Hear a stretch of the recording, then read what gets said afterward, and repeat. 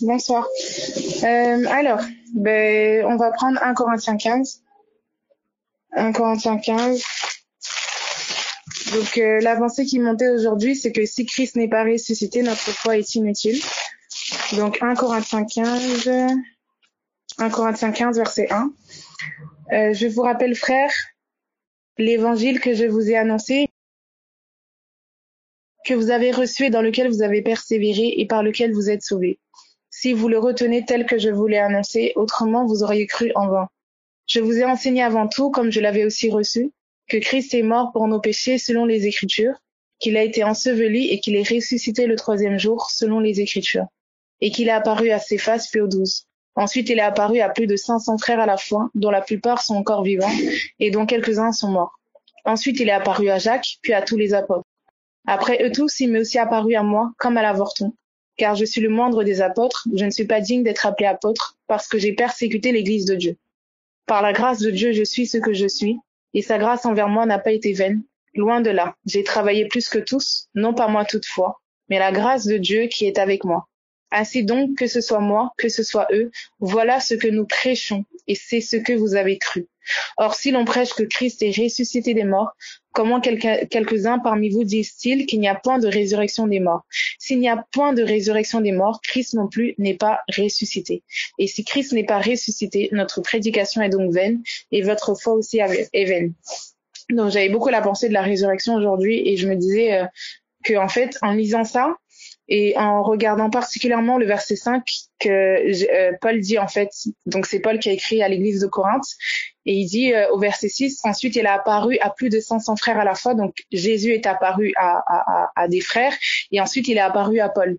Et c'est comme si vraiment la pensée qui montait aujourd'hui, c'était c'est pas un mythe, c'est pas une fiction, c'est vraiment une réalité. Et, euh, et Seigneur, en tout cas ma prière, c'était dépose la certitude de ta résurrection euh, dans nos cœurs. Et j'avais beaucoup la pensée aussi que, en fait, ce que nous prêchons, c'est l'évangile, la mort de Jésus, son ensevelissement et sa résurrection. Et c'est pour ça que le Saint-Esprit est venu sur nous. Du coup, euh, du coup, euh, on va aller dans Acte, Acte 1, Acte 1, verset, verset 6. Acte 1 à partir du verset 6. C'est comme si en fait la pensée qui montait aujourd'hui, l'évangile sans le Saint-Esprit est une théorie. C'est le Saint-Esprit qui donne vie à ce message-là en fait. C'est pour ça que avant de prendre acte 1, on va prendre euh, 1 Corinthiens. 1 Corinthiens. 1 Corinthiens. Merci Saint-Esprit. 1 Corinthiens 1 verset 17. 1 Corinthiens 1 verset 17. 1 Corinthiens 1 verset 17 ça dit, ce n'est pas pour baptiser que Christ m'a envoyé, c'est pour annoncer l'évangile, et cela sans la sagesse du langage, afin que la croix de Christ ne soit pas rendue vaine. Il dit, cela sans la sagesse du langage, afin que la croix de Christ ne soit pas rendue vaine, car la prédication de la croix est une folie pour ceux qui périssent, mais pour nous qui sommes sauvés, elle est une puissance de Dieu. Et dans 1 Corinthiens 2, il dit ceci, verset 1, Pour moi, frère, lorsque je suis allé chez vous, ce n'est pas avec une supériorité de langage ou de sagesse que je suis allé vous annoncer le témoignage de Dieu. Verset 2, 1 Corinthiens 2, verset 2, car je n'ai pas eu la pensée de savoir parmi vous autre chose que Jésus-Christ et Jésus-Christ crucifié. Moi-même, j'étais auprès de vous dans un état de faiblesse, de crainte et de grand tremblement. Et ma parole et ma prédication ne reposaient pas sur les discours persuasifs de la sagesse. Ma parole et ma prédication ne reposaient pas sur les discours persuasifs de la sagesse, mais sur une démonstration d'esprit et de puissance, sur une démonstration d'esprit et de puissance, afin que votre, foi fût fondée non sur la sagesse des hommes, mais sur la puissance de Dieu. Non sur la sagesse des hommes, mais sur la puissance de Dieu. Et je voulais prendre acte, acte 1, verset 6. Merci Jésus. Acte 1, verset 6. L'évangile sans le Saint-Esprit est une théorie, Acte 1, 6. Alors les apôtres réunis lui demandèrent, Seigneur, est-ce en ce temps que tu rétabliras le royaume d'Israël? Il leur répondit, ce n'est pas à vous de connaître les temps ou les moments que le Père a fixés de sa propre autorité. Mais vous recevrez une puissance, le Saint-Esprit. Donc tout à l'heure, on a vu la puissance de Dieu et là maintenant, il parle du Saint-Esprit. Donc il dit, mais vous recevrez une puissance, le Saint-Esprit survenant sur vous et vous serez mes témoins. Mais en fait, des témoins de quoi? Regardez, euh, acte 1, versets 15 à 22. Acte 1, versets 15 à 22. En ce jour-là, Pierre se leva au milieu des frères, le, nombre des personnes réunies étant d'environ 120. Et il dit, Hommes frères, il fallait que s'accomplisse ce que le Saint-Esprit dans l'Écriture a annoncé d'avance par la bouche de David au sujet de Judas, qui a été le guide de ceux qui ont saisi Jésus. Il était compté parmi nous et il avait part au même ministère. Cet homme ayant acquis un champ avec le salaire du crime est tombé, s'est rompu par le milieu du corps, et toutes ses entrailles se sont répandues. La chose a été si connue de tous les habitants de Jérusalem que ce chant a été appelé dans leur langue Akeldama, c'est-à-dire chant du sang.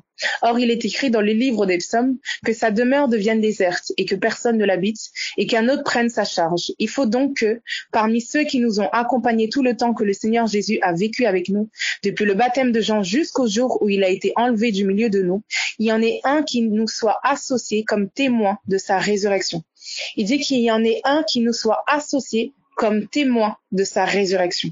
Et donc voilà le message en tout cas des apôtres. En fait, et j'aime bien Jésus quand il dit dans Acte, euh, on peut prendre Acte, euh, non pas Acte, Luc. Désolé, hein, j'aime bien prendre les passages pour appuyer ce que ce qu'il dit. Luc 4 verset 16. Luc 4 verset 16. Merci Jésus. Luc 4 verset 14. Donc Jésus qui sort du désert. Donc Luc 4 verset 14 à 18. Jésus revêtu de la puissance de l'esprit. Donc en fait, Jésus leur a dit attendez. Donc ça veut dire qu'il devait aller annoncer parce que juste dans Marc 16, je pense à la fin quand Jésus est ressuscité, il dit faites de toutes les nations des disciples et enseignez-leur ce que je vous ai prescrit. Et donc avant d'aller, il leur dit attendez. Et en fait, quand il leur dit d'attendre, et en fait, c'était pour attendre ce que le Père avait promis. Donc, le Saint-Esprit était une promesse du Père. Et du coup, il leur dit d'attendre. Pourquoi? Parce qu'il dit, le Saint-Esprit, quand il viendra sur vous, il fera de vous des témoins. Donc, en fait, je ne peux même pas être témoin sans le Saint-Esprit. Donc en fait, je suis témoin de l'Évangile par le Saint-Esprit. Et j'aime bien, euh, j'aime bien, euh, j'aime bien, euh, j'aime bien un Pierre. Donc avant de lire Luc 4, on prend le passage hein, pour, pour, pour que vous les ayez aussi. Un Pierre, euh, un Pierre euh, 1, un Pierre 1, verset 12, un Pierre 1, verset 12. Merci Jésus. Un Pierre 1, verset 12. Ça dit, il leur fut révélé que ce n'était pas pour eux-mêmes, mais pour vous, qu'ils étaient les dispensateurs de ces choses, que vous ont annoncé maintenant ceux qui vous ont pressé l'évangile par le Saint-Esprit, envoyé du ciel et dans lesquels les anges désirent plonger leur regard. Il dit ceux qui vous ont prêché l'évangile par le Saint-Esprit. Donc je suis témoin par l'Esprit. Donc en fait, les apôtres n'auraient pas pu aller commencer à annoncer, commencer le travail en tout cas que Jésus leur avait demandé sans l'Esprit en fait. Et, et du coup, Luc 4, verset 14, ça dit Jésus revêtu de la puissance de l'esprit, pareil. Donc Jésus sort du désert et on dit il est revêtu de la puissance de l'esprit. Il y a comme un vêtement, il y a quelque chose qui le revêt. Et il dit de quoi est-ce qu'il est revêtu de la puissance de l'esprit. Et on dit retourna en Galilée et sa renommée se répandit dans tout le pays d'alentour. Il enseignait dans les synagogues et il était glorifié par tous. Il se rendit à Nazareth où il avait été élevé et selon sa coutume, il entra dans la synagogue le jour du sabbat. Il se leva pour faire la lecture et on lui remit le livre du prophète Ésaïe.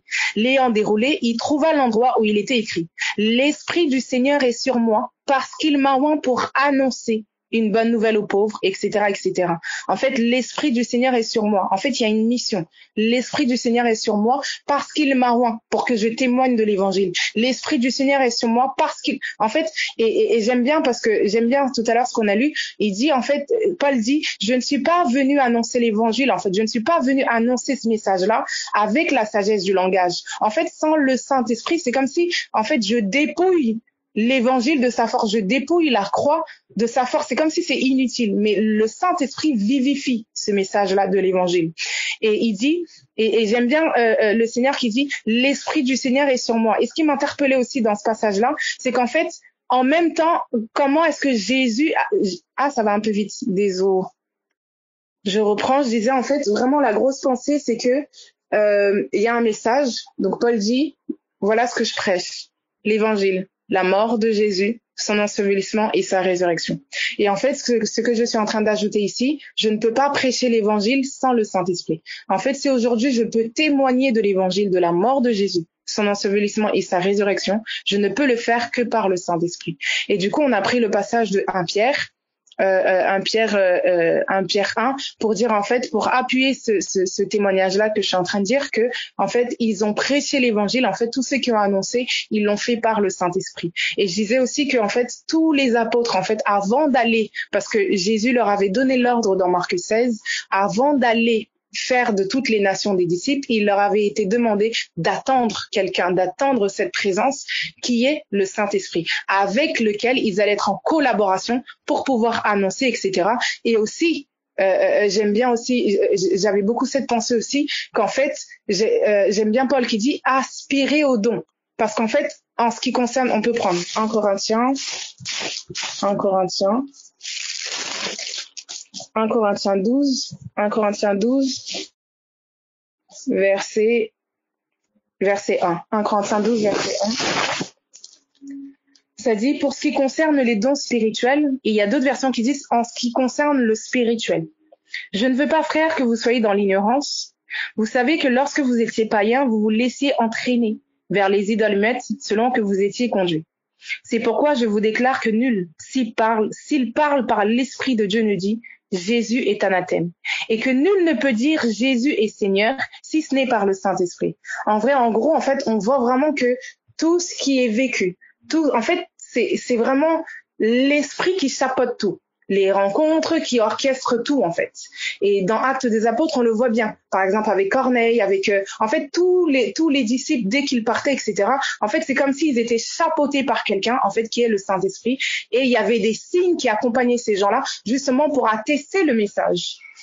Et, et, et, et du coup, c'est pour ça qu'il dit dans dans Hébreu, Hébreu, merci Jésus, Hébreu, Hébreu, merci Jésus, Hébreu 2 Hébreu 2 à partir du verset 1. Hébreu 2 à partir du verset 1. Yes. C'est pourquoi nous devons d'autant plus nous attacher aux choses que nous avons entendues, de peur que nous ne soyons emportés loin d'elles. Car si la parole annoncée par des anges a eu son effet, et, si toute transgression et toute désobéissance a reçu une juste rétribution, comment échapperons-nous en négligeant un si grand salut, qui annoncé d'abord par le Seigneur, nous a été confirmé par ceux qui l'ont entendu? Et regardez, Dieu appuyant leur témoignage par des signes, des prodiges et divers miracles, et par les dons du Saint-Esprit distribués selon sa volonté. Il dit Dieu appuyant leur témoignage. Quel est le témoignage? Le témoignage de l'évangile, la mort de Jésus, son ensevelissement et sa résurrection. Il dit en fait que Dieu a appuyé leur témoignage par des signes, des prodiges et des divers miracles et par les dons du Saint-Esprit distribué selon sa volonté. Et donc en fait, dans tout 1 Corinthiens 12, tous ces dons-là, toutes ces manifestations de l'Esprit, en fait, sont des signes qui accompagnent le message. C'est pour ça qu'il dit, quand il leur dit d'aller, il leur dit, voici les signes qui accompagneront ceux qui auront cru. Ils imposeront les mains aux malades et les malades seront guéris. Ils, euh, ils parleront de nouvelles langues, etc., etc., etc. En fait, ça, ce sont des signes pour accompagner le message. Et j'aime bien Exode quand, à un moment donné, dans Exode, Exode. Bon, on va finir sur ça. Hein. C'est juste la petite pensée que j'avais, que en fait le Saint Esprit, nous prêchons l'évangile par le Saint Esprit. Exode 4 verset verset 1. Donc il y a Dieu qui appelle Moïse et en fait qui va l'envoyer à, à aller libérer euh, le peuple en Égypte. Et du coup, euh, à un moment donné, il dit, bah, en fait, Moïse qui, qui dit à Dieu, verset 1, Moïse répondit et dit, Voici, ils ne me croiront point et ils n'écouteront point ma voix, mais ils diront, L'Éternel ne t'est point apparu. Et tout à l'heure, on a vu dans 1 Corinthiens 15, merci Jésus, il est apparu à 500 frères et Paul dit, il m'est aussi apparu à moi. En fait, en gros, ils vont pas croire que tu es vivant, en fait. En gros, ils vont pas croire mon témoignage que, en fait, que, je leur rends, qu'en fait, que tu es vivant. Et il dit, l'Éternel lui dit, Qu'y a-t-il dans ta main? Il répondit, une verge. L'Éternel dit, jette-la par terre. Il la jeta par terre et elle devint un serpent. Moïse fuyait devant lui. L'Éternel dit à Moïse, étends ta main et saisis-le par la queue. Il étendit la main et le saisit. Et le serpent redevint une verge dans sa main. C'est là, dit l'Éternel, ce que tu feras, afin qu'ils croient que l'Éternel, le Dieu de leur père, t'est apparu Donc en fait, qu'il est vivant. Le Dieu d'Abraham, le Dieu d'Isaac et le Dieu de Jacob. Verset 16. L'Éternel lui dit encore, mets ta main dans ton sein. Il mit sa main dans son sein, puis il la retira. Et voici sa main était couverte de lèpre, blanche comme la neige. L'Éternel dit, remets ta main dans ton sein. Il remit sa main dans son sein, puis il la retira de son sein. Et voici, elle était redevenue comme sa chair. S'il ne te croit pas, verset 8, dit l'Éternel, ils n'écouteront et n'écoutent pas la voix du premier signe, ils croiront à la voix du dernier signe. S'ils ne croient pas même à ces deux signes et n'écoutent pas ta voix, tu prendras de l'eau du fleuve, tu la répandras sur la terre, et l'eau que tu auras prise du fleuve deviendra du sang sur la terre, etc., etc. Donc en fait, il y a comme des signes qui accompagnent le croyant, mais ces signes ne sont pas une fin en soi, parce que j'aime bien Jésus qui dit, en fait, ouais, t'as vu les miracles, mais c'est pas ça le point. En fait, les signes servent justement à venir. En fait, alors attendez, on prend Jean 3. 23, 23, Jean 3, verset 1. Donc les signes, ce n'est pas le royaume. Les signes, c'est pas Jésus. Jean 3, verset 1. Jean 3, verset 1, ça dit, Mais il y eut un homme d'entre les pharisiens nommé Nicodème, un chef des Juifs, qui vint lui auprès de Jésus de nuit et lui dit, Rabbi, nous savons que tu es un docteur venu de Dieu, car personne ne peut ces miracles que tu fais si Dieu n'est avec lui. Jésus lui répondit, En vérité, en vérité, je te le dis, si un homme ne naît d'en haut, il ne peut voir le règne de Dieu. Nicodème lui dit, Comment un homme peut-il naître quand il est vieux? Peut-il rentrer dans le sein de sa mère et naître? Etc. etc. Il dit, et en fait, Jésus comme recadre Nicodème en lui disant, c'est un homme né de nouveau. En fait, le plus important, c'est de naître d'en haut. C'est pas euh, euh, les miracles, etc. Les miracles ne sont que des signes qui accompagnent le message, mais ce n'est pas une fin en soi. Le miracle, en tout cas, le, le, miracle aujourd'hui, c'est le Christ en nous. Le miracle du croyant, c'est le, c'est, c'est, cette présence en fait qu'on a reçue aujourd'hui. En tout cas, c'est vraiment cette pensée. Il faut beaucoup aussi de discernement parce que pendant que je suis en train de vous parler, j'ai beaucoup la pensée de Jésus qui dit en fait, vous n'aurez, ou les Juifs en fait demandaient des miracles justement, et Jésus va leur dire en fait, vous n'aurez pas d'autre miracle que euh, celui du prophète Jonas en parlant justement de l'évangile. Donc des fois, l'évangile, en tout cas, le Saint-Esprit sait à quand l'annonce est faite. Des fois, l'annonce sera simplement suffisant, mais des fois aussi, le Saint-Esprit utilisera des signes pour justement accompagner le message. Mais tout par le Saint-Esprit. C'est vraiment la pensée que j'avais aujourd'hui. C'est tout par le Saint-Esprit. Et Seigneur, installe la certitude de l'évangile en nous, parce que si seulement ici, on est, on sait dans nos cœurs, on est convaincu, persuadé de la résurrection de Jésus, que Jésus-Christ est vivant, en fait, on n'a plus, je sais pas, euh, on n'est plus limité quoi. Et je, je, je, suis en train de penser à cette femme samaritaine. Il a simplement, elle a simplement commencé à parler avec Jésus, à, avoir cette discussion avec Jésus. Et, dès qu'elle, dès qu'elle a, comment dire, dès qu'ils ont fini de parler, elle est partie, elle a laissé sa cruche, elle s'en est allée annoncer. Et, et, et je me dis en fait qu'on cultive cette relation là avec le Saint Esprit, et c'est lui en fait qui va euh, installer cette certitude de l'Évangile en nous pour qu'on puisse aller, etc., etc. Parce que justement il y a, il y a une mission, etc. Voilà. Soyez bénis. J'espère que c'était clair et, que c'était pas que je suis pas allée trop vite. Euh, bonsoir. Euh, je vais partager une pensée euh, sur laquelle je suis en ce moment. le Seigneur me parle pas mal de, l'autorité, l'autorité qu'on peut avoir en tant qu'enfant de Dieu. Et du coup, je vais prendre, je vais prendre Jean, Jean 10, Ok, j'en dis verset, à partir du verset 34.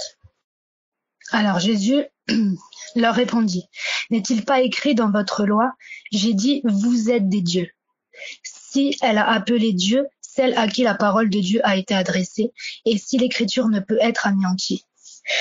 Du coup, quand je lis ça, c'est comme si je, comprenais que si l'écriture, dès l'instant où l'écriture m'a été adressée, je suis Dieu. Donc si la parole de Dieu, dès l'instant où la parole de Dieu m'a été adressée, qu'elle est dans mon cœur et sur ma bouche, je me fais Dieu. Avec la pensée de Dieu, sur ma bouche et dans mon cœur, je me fais Dieu. Donc Dieu nous a donné l'autorité. Et en fait, ce, passage-là, il reprend le psaume de 82, qu'on va prendre vite fait. Donc psaume 82, au verset 1 Psaume 82, verset 1. Alors, Dieu se tient dans l'assemblée de Dieu. Donc, c'est intéressant parce que Bible dit le conseil divin. Il juge au milieu des dieux. Il y a une version, c'est la version, je crois, Darby qui dit, il juge au milieu des juges. Jusqu'à quand jugerez-vous avec iniquité? Et ensuite au verset 8, il dit, donc lève-toi, Dieu, juge la terre. Et en fait, ce juge-là, c'est moi. Donc si la parole de Dieu m'a été adressée, je me fais Dieu, je me fais juge. Donc lève-toi, ô Dieu, juge la terre. Donc moi, en tant que, si j'ai reçu l'autorité de Christ, donc juger dans les strongs, c'est, ça veut dire chapa, et en fait, c'est exécuter un jugement, décider, gouverner, défendre, prononcer. Donc en fait, en, tant que, que si j'ai reçu cette parole-là, je suis amenée à juger, à parler, à défendre, à gouverner la terre. Donc premièrement, la terre de mon cœur, mais aussi la terre de ma famille, la terre de mon travail, la nation, euh, ma ville, peu importe laquelle terre je suis en train de juger, mais j'ai reçu l'autorité pour juger. Et euh, ensuite, il continue en, disant car toutes les nations t'appartiennent. Donc en fait, je voyais vraiment la résurrection, tout est accompli. Jésus a, est mort, enseveli et ressuscité. Donc en me faisant euh, Dieu, en ayant sa pensée dans mon cœur et sur ma bouche, je peux gouverner, je peux prononcer, j'ai cette autorité. Et du coup, euh, dans la même pensée, j'étais beaucoup dans, dans Ésaïe.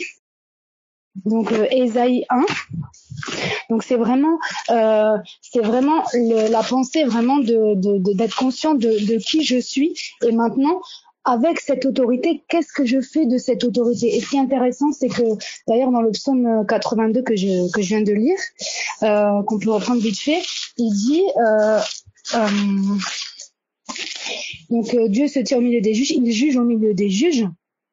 Jusqu'à quand jugerez-vous avec iniquité? Donc, en fait, de, de quelle, euh, quelle euh, finalement, quelle justice j'applique?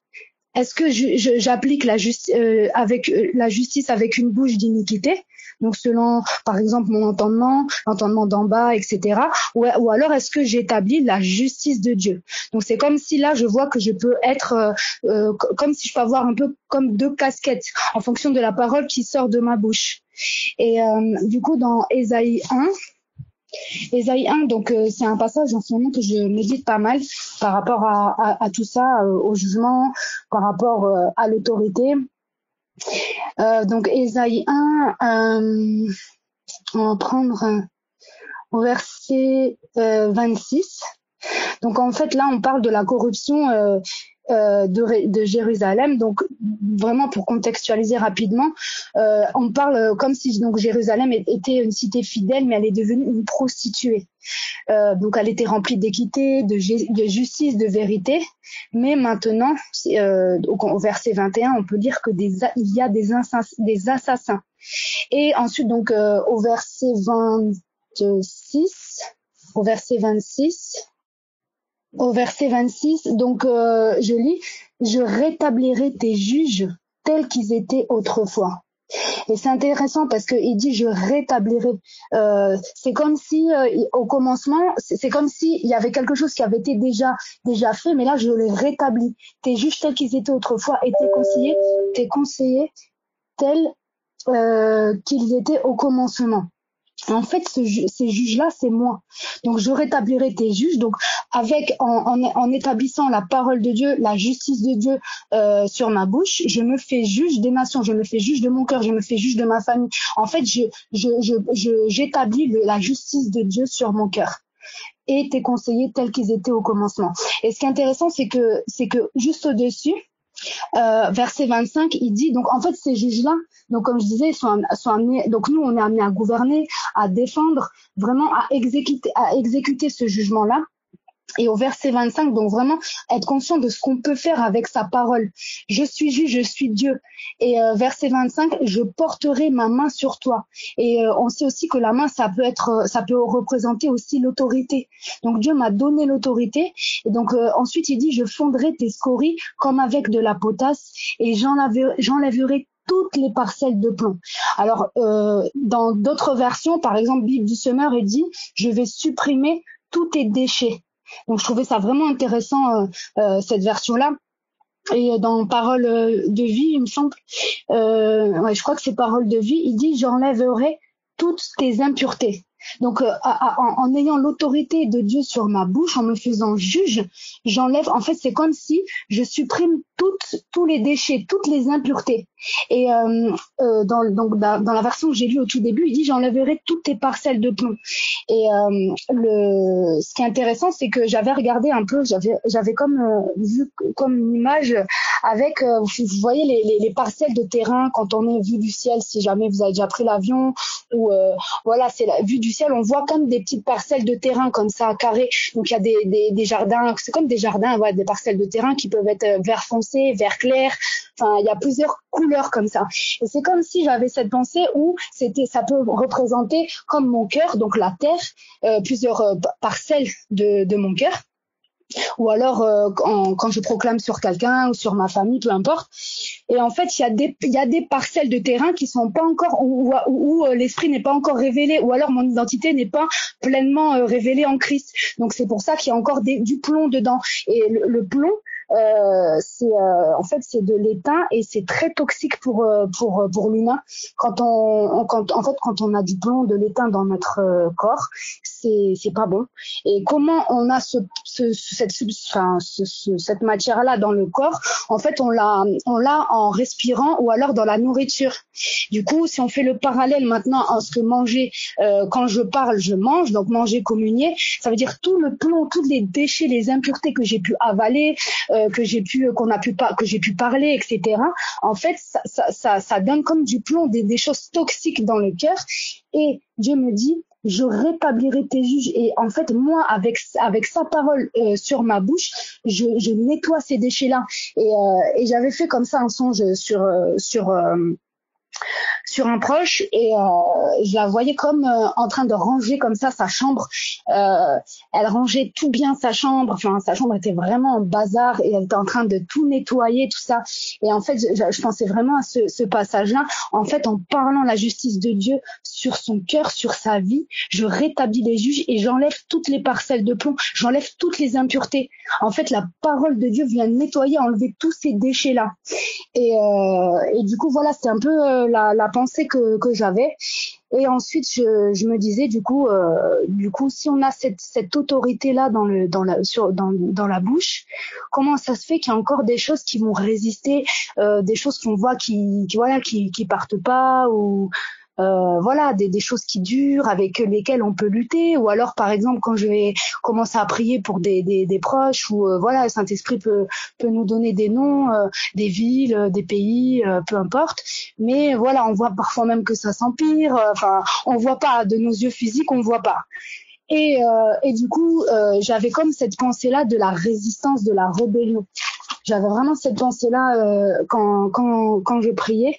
Le fait que lorsque tu établis comme un jugement, une loi, le jugement de Dieu sur, euh, sur, euh, sur terre, c'est comme si maintenant il va y avoir des rebelles. Et d'ailleurs, je crois que dans Ésaïe, un peu avant, à un moment, il parle de rebelles. Voilà, verset 20, mais si vous résistez, et si vous êtes rebelles, vous serez dévorés par le glaive, car la bouche de l'Éternel a parlé.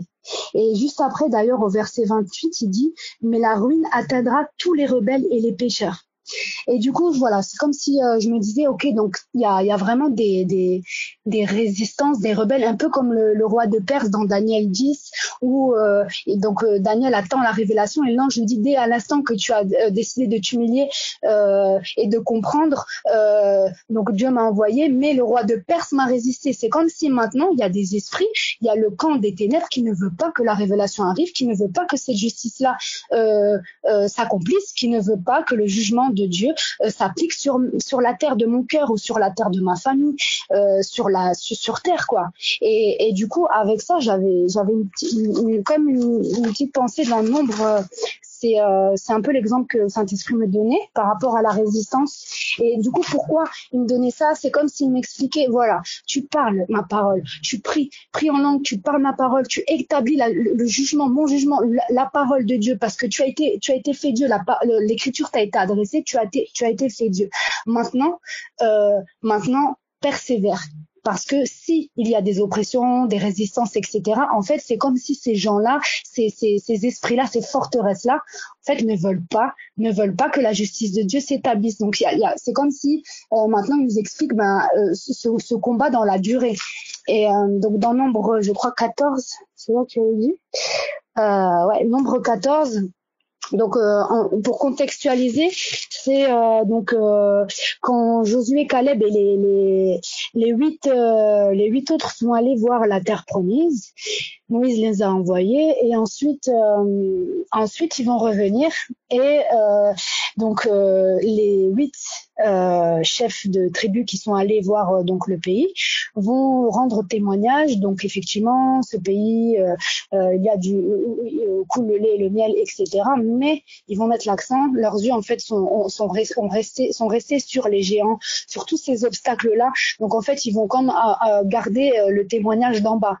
Alors que donc le peuple va avoir peur. Alors que Josué et Caleb ne vont pas nier la réalité terrestre, mais eux ils ne marchent pas selon la vue, mais par la foi. Donc ils vont dire oui, c'est vrai, on a les, géants, il y a, tous ces obstacles-là, mais Dieu nous a parlé. C'est comme si je voyais Jésus-Christ est mort, enseveli, ressuscité. Donc même si euh, tu vois, tu vois euh, que ça va pas, même si tu vois encore des symptômes, même si tu vois encore que ça crie, même si tu vois des géants dans ta vie, Jésus-Christ est ressuscité, il est mort, enseveli, ressuscité. Donc il y a toute cette période d'ensevelissement, je dois garder le témoignage.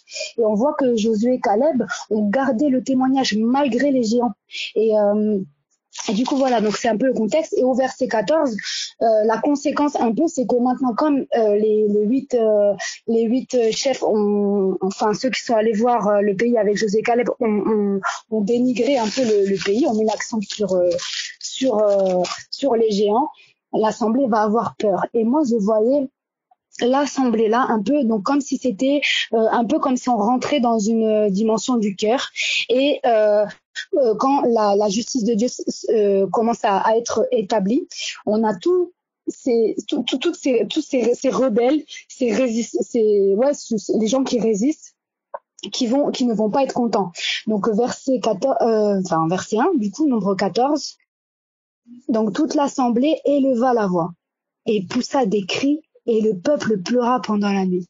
Et du coup, moi, je voyais vraiment ces gens-là comme euh, les toutes ces forteresses-là, toute, toute cette opposition dans mon cœur qui élève la voix. Et il y a des versions qui disent euh, pleure, crie, proteste, euh, euh, euh, se soulève. En fait, toutes, toutes, ces, toutes ces pensées étrangères à Christ, quand je vais établir cette justice-là dans mon cœur, quand je vais la parler, en fait, ils vont élever la voix et poussent et poussent des cris. Donc parfois, ça, à l'intérieur des entrailles, ça crie, ça, ça se soulève, ça proteste parce qu'on ne veut pas que la parole de Dieu s'établisse.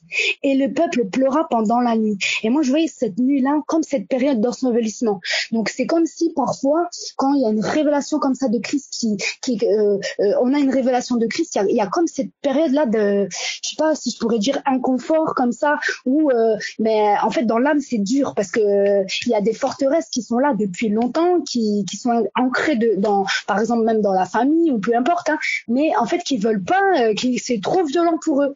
Et du coup j'avais un peu l'exemple vraiment euh, d'une manière terrestre parce que voilà on sait que ça, ça reflète le céleste, mais j'avais j'avais eu l'exemple un peu de, de, du pays avec le président. Bon voilà, c'est c'est ça reste un exemple, hein, mais euh, je voyais un peu euh, le président un peu comme la bouche, donc ma bouche. Et euh, lorsque il va voter des lois à l'Assemblée, voilà, lorsque euh, ils vont, ils vont commencer à décider des lois, etc.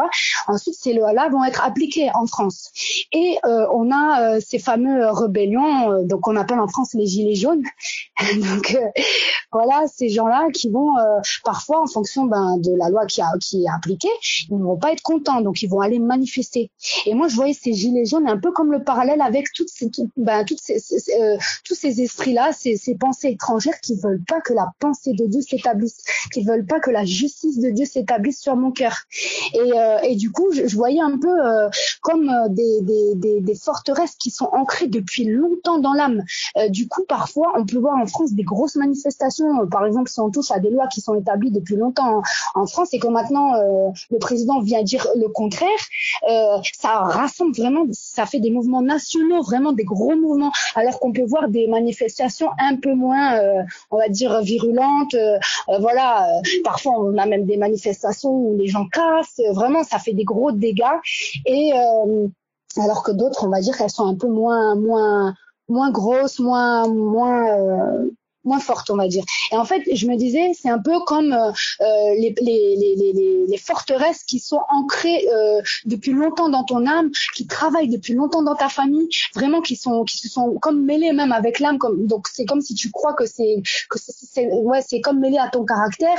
Il y a, y a peut-être des forteresses aussi dans la famille, je sais pas moi, euh, de colère, de mensonges, peu importe les forteresses qui travaillent depuis longtemps dans la famille. Et en fait, quand il y a la parole de Dieu qui s'établit, qui veut venir en fait dire bah non en fait euh, la loi elle a voté ça c'est en fait vous n'avez pas à être là.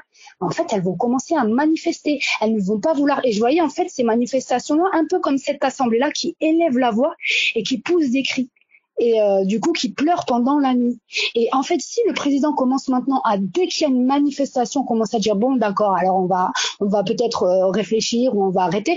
En fait, ça, ça devient un peu l'anarchie. Du coup, on voit que en, finalement, si si si, si, si il y a persévérance, en fait, ils finiront par se plier. Et du coup, c'est un peu ce qu'il me disait maintenant moi avec mon, par rapport à moi. Euh, je sais pas, j'établis par exemple une pensée de guérison. Moi, j'ai toujours cru que euh, Dieu ne guérit pas, euh, ou alors que la guérison c'est pas pour moi, ou alors peut-être même que Dieu envoie la maladie. Et maintenant, euh, j'ai la révélation que, que Jésus-Christ guérit, que je suis guéri par les meurtrissures de, de Jésus, je suis guéri. Mais il y a toutes ces forteresses-là d'incrédulité qui vont commencer à manifester contre la guérison. Enfin voilà, ils vont commencer à se rebeller. Et donc tout ça là, ces, ces forteresses de pensée vont commencer à crier dans mon cœur. Et, et, et sauf qu'en fait, ce sont des mensonges. C'est un peu comme des intimidations parce que la loi a été votée, c'est comme ça. Et qui doit l'établir? C'est premièrement moi, avec ma bouche. Je dois parler. Donc en fait, je me fais propre juge pour mon cœur parce que la parole de Dieu m'a été adressée. Donc en ayant le témoignage de Christ sur, sur, euh, sur mes lèvres, en ayant eu cette révélation, je ne fais que appliquer la loi. Non, c'est comme ça. Et au final, je sais qu'ils finiront par se plier. Mais il y a comme toute cette période-là de nuit de, de, d'ensevelissement où je dois garder le témoignage sur ma bouche, malgré les symptômes, malgré les cris. Et donc verset 2, euh, donc là on voit hein, que la, voix s'est élevée. Verset 2, tous les enfants d'Israël murmurent. Donc voilà, il y a des murmures contre Moïse et Aaron. Et toute l'assemblée leur dit, que ne sommes-nous morts dans ce pays ou que ne sommes-nous euh, morts dans ce désert?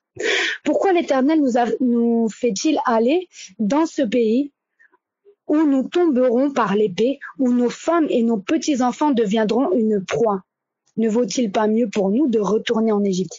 Et en fait, là, moi, je voyais vraiment comme toutes ces forteresses-là, ces raisonnements, euh, l'intelligence d'en bas, toutes ces façons de penser qui sont légitimes, parce que là, ils sont pris par un esprit de peur, parce que effectivement, il y a des géants. Donc, toutes ces forteresses de pensée qui sont peut-être légitimes à mes yeux, mais qui sont contraires à la pensée de Christ qui sont mis en lumière là.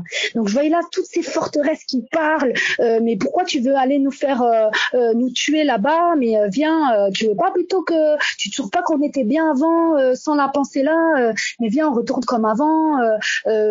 allez, retournons par, exemple dans la loi ou tu vois toutes ces pensées là qui vont parler là quand tu commences à avoir une révélation. Il y a après toute cette période où là où c'est comme je sais pas, moi j'appelle ça l'inconfort. Je sais pas si c'est le bon mot, mais c'est c'est comme si c'est en train de s'établir. Et, et, et, si je parle pas, mais c'est comme si ces pensées-là, elles peuvent après euh, submerger.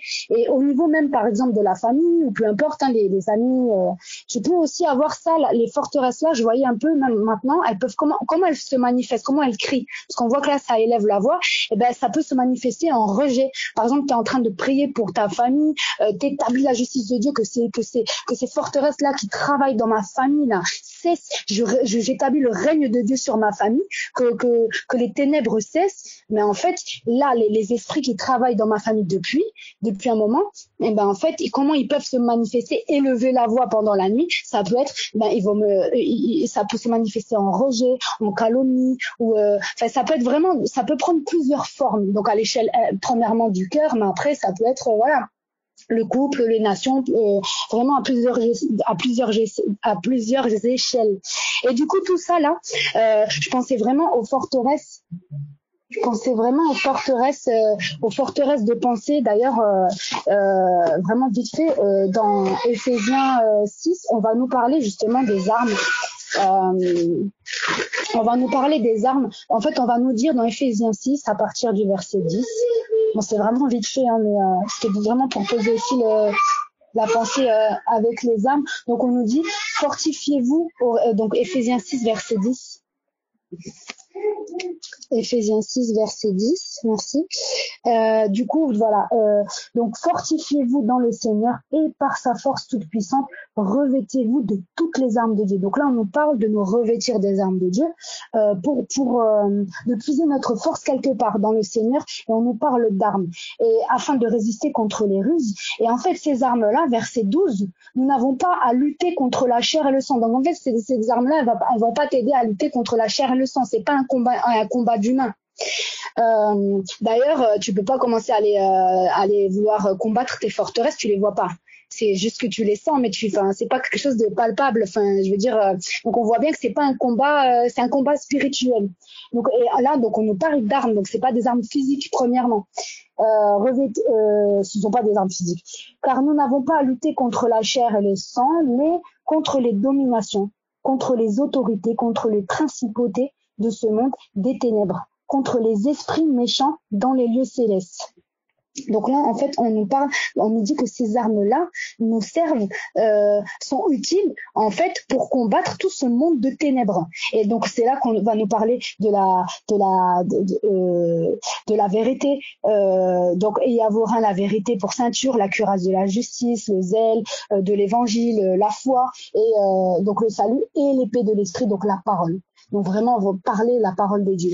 Et donc en fait, ces armes-là, euh, pourquoi je parle de ça? Parce que donc ici, quand il disait dans Nombre 14, euh, pourquoi l'Éternel nous fait-il aller dans ce pays où nous tomberons? Pourquoi l'Éternel nous fait, en fait, pourquoi tu veux nous faire mourir Tout ça, en fait, là, c'est des pensées quand je parle, en fait, quand le jugement de Dieu s'établit sur mon cœur, c'est toutes ces pensées-là qui vont être comme, comme les raisonnements, les faux raisonnements qui vont commencer à monter dans mon esprit, à me parler. Ça peut même être des oppressions, euh, donc peur, euh, euh, incrédulité, euh, inquiétude. Euh, enfin voilà, tous ces faux raisonnements-là qui vont commencer à parler. Et là, on nous parle d'armes qui nous aident à combattre contre des, contre le monde, enfin contre le monde des ténèbres. Et et 2 Corinthiens, je crois que c'est 2 Corinthiens 10. Euh, voilà, 2 Corinthiens 10 nous parle de ces armes-là. Et en fait, euh, donc 2 Corinthiens 10, verset 4, nous dit, euh, car les armes avec, avec lesquelles nous combattons ne sont pas charnelles. Donc on retrouve ces armes de Éphésiens, mais elles sont puissantes. Donc en fait, ces armes-là, c'est bien des révélations de Christ. Elles sont puissantes par la vertu de Dieu pour renverser les forteresses nous renversons des raisonnements et toute terre qui s'élève contre la connaissance de Dieu et nous amenons toute pensée captive à l'obéissance de Christ. Donc en fait, toutes ces armes-là m'aident à renverser des forteresses et derrière ces forteresses, il y a tout ce monde de ténèbres-là dans Ephésiens 6 qui nous dit, euh, elle nous aide à combattre en fait tout euh, ce monde de ténèbres, ces esprits. Donc du coup, derrière ces raisonnements-là, donc derrière euh, les raisonnements des, des derrière le, raisonnement de, de, des Hébreux, donc dans nombre, euh, pourquoi l'Éternel nous fait-il aller dans ce pays? Donc derrière cette peur-là, en fait, il y a des esprits, il y a des démons qui se cachent derrière ces raisonnements-là. Et j'ai besoin des armes de Dieu pour les combattre. J'ai besoin de la révélation de Christ. J'ai besoin de parler sa parole, parce qu'on nous parle de l'épée. Euh, l'épée, euh, la dernière arme, c'est l'épée, euh, l'épée de la parole. J'ai besoin de, de parler. J'ai besoin de parler ses, sa pensée. Et du coup, euh, tous ces raisonnements-là, donc pour euh, viens, on, on, vient, on rentre en Égypte et, et euh, rentrer, retourner en Égypte, euh, c'est retourner où comme j'étais avant, sous la servitude où je, je me faisais, euh, bah, où j'étais esclave. Mais mais euh, mais cette pensée-là, elle naît d'une peur, donc ça peut être légitime. Mais derrière, il y a des esprits. Donc maintenant, quand j'ai toutes ces, ces forteresses d'incrédulité ou ces raisonnements qui montent, où ça crie, où ça pleure, en fait, je sais que ce sont des esprits qui qui, ne, qui ont peur. En fait, ces gilets jaunes-là qui ne veulent pas que la loi passe clairement. Donc moi, je dois garder, je peux pas commencer à dire ah d'accord, ben oui, c'est très bien. Non, parce qu'en fait, la pensée de Dieu est au-dessus et, et, et ils finiront par, ils finiront par s'incliner parce que j'ai l'autorité, je suis Dieu. Enfin, la parole de Dieu m'a été adressée, je me fais Dieu. Donc, si j'ai sa parole, de, sa parole sur ma bouche, je parle. Et, euh, et du coup, c'est intéressant parce que verset 4, euh, donc on, on, est retourné dans nombre. Hein. Désolée si je vais un peu vite, pardon. Euh, donc euh, verset 4, euh, toujours dans Nombre 14, et ils se dirent l'un à l'autre, nommons un chef et retournons en Égypte. Et euh, le chef, voilà, ça peut être la, de la bouche. Donc nommons une autre bouche. Allez, on nomme une autre loi. Ah, on ne veut pas que cette loi-là s'établisse. Et, et, retournons en Égypte. Et et euh, je me disais, mais euh, en fait, je ne dois vraiment pas écouter ma chair. Je dois pas écouter ma chair. Je dois pas écouter ces, ces, ces, ces manifestations-là, ces rébellions-là, ces oppressions-là, ces, ces, euh, ces esprits-là qui se cachent derrière le raisonnement. Parce que Jésus-Christ a parlé et, euh, et il a l'autorité. Donc ça finira par, s'incliner. Donc ça peut même être. Moi j'avais reçu de base cette substance-là. Ça peut être par rapport à des symptômes physiques. Il y a des choses qui commencent à pas aller dans le corps, etc. Jésus-Christ a parlé. Jésus-Christ est guéri. Donc maintenant même si ça parle, même si les symptômes parlent, etc. Je garde le témoignage de Dieu sur ma bouche. Et euh, même s'il y a toute cette période-là d'ensevelissement. Et donc euh, ensuite, euh, je vais passer un petit peu. Donc euh, Moïse et Aaron tombèrent donc sur leur visage, etc. On peut prendre directement le verset verset 7. Voilà, verset 6, pardon. Et parmi ceux qui avaient exploré le pays, Josué fils de Nun et Caleb fils de Jéphuné déchirèrent leurs vêtements et parlèrent ainsi à toute l'assemblée des enfants d'Israël. Donc moi je voyais comme euh, ma bouche qui parle à, à, à tous ces esprits-là, qui commencent à prendre l'autorité de Christ. Le pays que nous avons parcouru pour l'explorer est un pays très bon et excellent. Donc, euh, je voyais vraiment comme ma bouche qui prend autorité. Jésus-Christ est Seigneur. Jésus-Christ guérit. Jésus-Christ est, est, mort enseveli et ressuscité. Jésus-Christ a parlé. Donc, vraiment garder ce témoignage-là au-dessus de, du témoignage de la chair. Si l'Éternel nous est favorable, il nous mènera dans ce pays et il nous le donnera. C'est un pays où coule le lait et le miel. Donc, euh, je sais que ce que Jésus-Christ a parlé, c'est bon pour moi, même si je vois des choses qui me montrent le contraire. Jésus-Christ a parlé. Jésus-Christ est Seigneur. Même si je vois que dans ma famille, je, parle et puis voilà, il peut y avoir des, rébellions, Jésus-Christ est Seigneur. Même si je parle sur la terre de mon frère, de ma sœur et que je vois qu'il y a des, rébellions, Jésus-Christ est Seigneur. Jésus-Christ a parlé. Vraiment garder ce témoignage-là. Euh, verset 9, seulement ne soyez point rebelles. Et moi, c'est un peu ce que je proclamais à mon âme, mon âme ne soit pas rebelle. Donc quand je sens ces oppressions-là, quand l'assemblée s'élève dans mon cœur là, élève la voix, pleure, pousse des cris, parle, mon âme ne soit pas rebelle, parce que j'ai l'autorité, donc je parle à mon âme, ne sois pas rebelle euh, contre l'Éternel, ne crains point, n'aie pas peur les gens de ce pays, euh, car nous, donc mon âme ne craint pas. Donc au nom de Jésus, que tous ces esprits-là contraires à la pensée de Dieu euh, se taisent, n'aie pas peur, parce que ne, ne, crains pas ce pays, euh, car ils nous serviront de pâture, donc de nourriture. En fait, Jésus-Christ a déjà vaincu. Ils sont vaincus, donc n'aie pas peur. Ce sont des mensonges. Euh, ils n'ont plus d'ombrage pour les, pour les couvrir. L'Éternel est avec nous, ne les craignez point. Et, euh, et du coup, euh, donc voilà, en méditant tout ça, euh, après, donc au verset 10, donc, euh, on voit que l'Assemblée, elle a parlé de les lapider. Donc toute l'Assemblée parlait de les lapider. Et je me disais parfois, les oppressions, elles peuvent être peut-être tellement fortes que tu crois que tu vas mourir, quoi. Parce que là, ils veulent le lapider carrément. Et, euh, et je me disais, enfin, c'est comme si l'oppression, elle est un peu, euh, elle est un peu forte, quoi. Et euh, tu vois qu'il n'y a, a, pas d'espoir, que même les circonstances commencent à s'aligner, que c'est vraiment, enfin, c'est à l'intérieur ça va pas, à l'extérieur ça va pas. Du coup, t'es prête. c'est comme si t'es, parfois la chair te dit, allez, c'est bon, on nomme un autre chef, on retourne en Égypte. C'était mieux avant, avant qu'il y ait tout ça, avant que que tu parles cette, cette parole-là, avant que tu aies cette révélation-là, ou avant que je me convertisse, peu importe. Eh ben, c'était mieux. Et, euh, et, là, ils veulent même, ils veulent même euh, lapider. Euh, ils veulent même les lapider. Sauf que au verset 10, on voit lorsque la gloire de l'Éternel apparut sur la tente d'assignation devant tous les enfants d'Israël. Et je voyais vraiment que en fait, si tu gardes le témoignage, enfin, ce témoignage-là, la gloire de l'Éternel apparaît. En, fait, Jésus-Christ est au-dessus de tout ça. Et, euh, et après, on verra qu'il nous parlera d'incrédulité, euh, d'incrédulité. Donc, euh, c'est euh, ben, ce verset 11. Et l'Éternel dit à Moïse, jusqu'à quand ce peuple me méprisera-t-il? Jusqu'à quand ne croira-t-il pas en moi malgré les prodiges que j'ai faits au milieu de lui?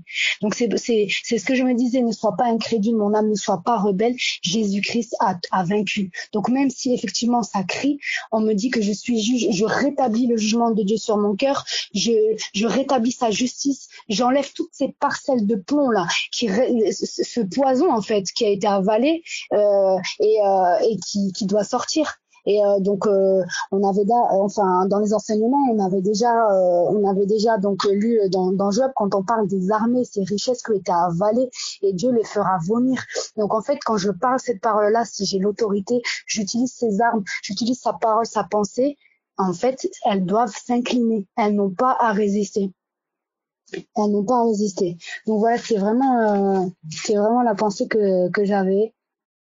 Donc pour finir, je vais, je vais revenir un peu sur, euh, sur cette, euh, cette bouche d'iniquité là dans le psaume, euh, psaume 82. Donc euh, psaume 82, on voyait que on peut donc euh, on, on, on, on, voit qu'on peut euh, juger la terre car toutes les nations appartiennent à Jésus-Christ. Et au verset 2, jusqu'à quand jugerez-vous avec iniquité?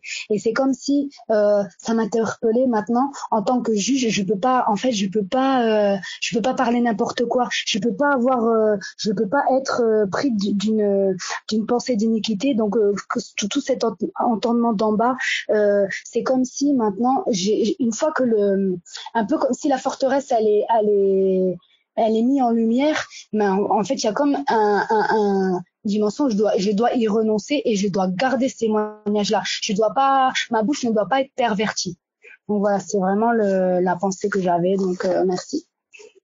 Ok, gloire à Jésus. Gloire à Dieu.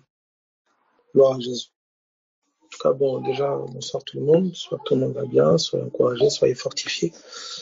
Euh, je vais toucher à quelque chose, euh, à la parole, quoi, la pensée de Christ.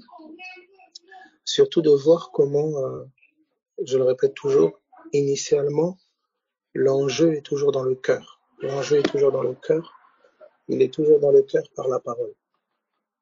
Toujours dans le cœur par la parole.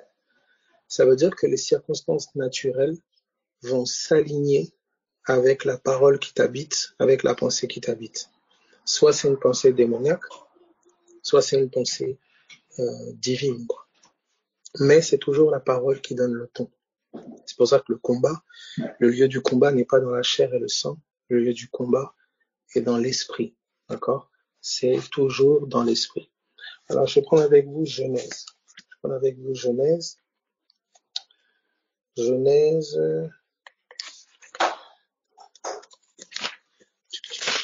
chapitre Genèse chapitre 25 Genèse 25 à partir du verset euh, à partir du verset 19 Genèse 25 à partir du verset 19 Genèse 25 19 donc donc voici ce que je vais expliquer là. Je vais expliquer là que c'est la parole qui donne le ton c'est la parole qui donne le ton. La victoire est vraiment d'abord dans la parole, dans la pensée de Dieu. Si le, cœur est persuadé par une parole mensongère ou une autre parole, eh ben, les concours de circonstances, les circonstances vont s'aligner avec la parole de Dieu. Ça veut dire que euh, tout se joue d'abord avec la parole. Tout se joue d'abord avec la parole. Le, monde naturel est complètement dompté, dominé, géré par le monde des esprits, qui est monde de la parole. Je répète, le monde naturel est complètement dominé, géré par le monde des esprits, qui est monde de la parole. Alors je prends avec vous Genèse, chapitre 25, à partir du verset 19. Euh, Genèse 25, 19. Je lis. Voici la postérité d'Isaac, fils d'Abraham. Abraham engendra Isaac. Isaac était âgé de quarante ans quand il prit pour femme Rebecca, fille de Bethuel, l'araméen, de Padan, de Padan Aram, et sœur de Laban, l'araméen. Verset 21, Isaac implora l'Éternel pour sa femme, car elle était stérile. Et l'Éternel l'exauça. Rebecca, sa femme, devint enceinte. Les enfants se heurtaient dans son sein, et elle dit, S'il en est ainsi, pourquoi suis-je enceinte? Elle alla consulter l'Éternel. Et l'Éternel lui dit, Deux nations sont dans ton ventre. Deux nations sont dans ton ventre. Et deux peuples se sépareront au sortir de tes entrailles. Deux peuples se sépareront au sortir de tes entrailles. C'est intéressant de voir que il y a deux nations dans son sein et on est en train de nous dire que euh, euh, deux peuples vont se séparer, d'accord, vont, se séparer au sortir de ses entrailles. Et Matthieu dit ceci, un de ces peuples sera plus fort que l'autre. Un de ces peuples sera plus fort que l'autre. Et le plus grand sera assujetti au plus petit. Voici la parole qui est sortie. Il y a deux nations dans ton ventre, il y a deux peuples en ton sein. Et au sortir de tes entrailles, ces deux peuples-là, il va y avoir une séparation. Au sortir de tes entrailles, il va y avoir une séparation. Et on nous dit que le un sera le plus fort. Et on dit que le plus petit, le plus grand, pardon, sera assujetti au plus petit.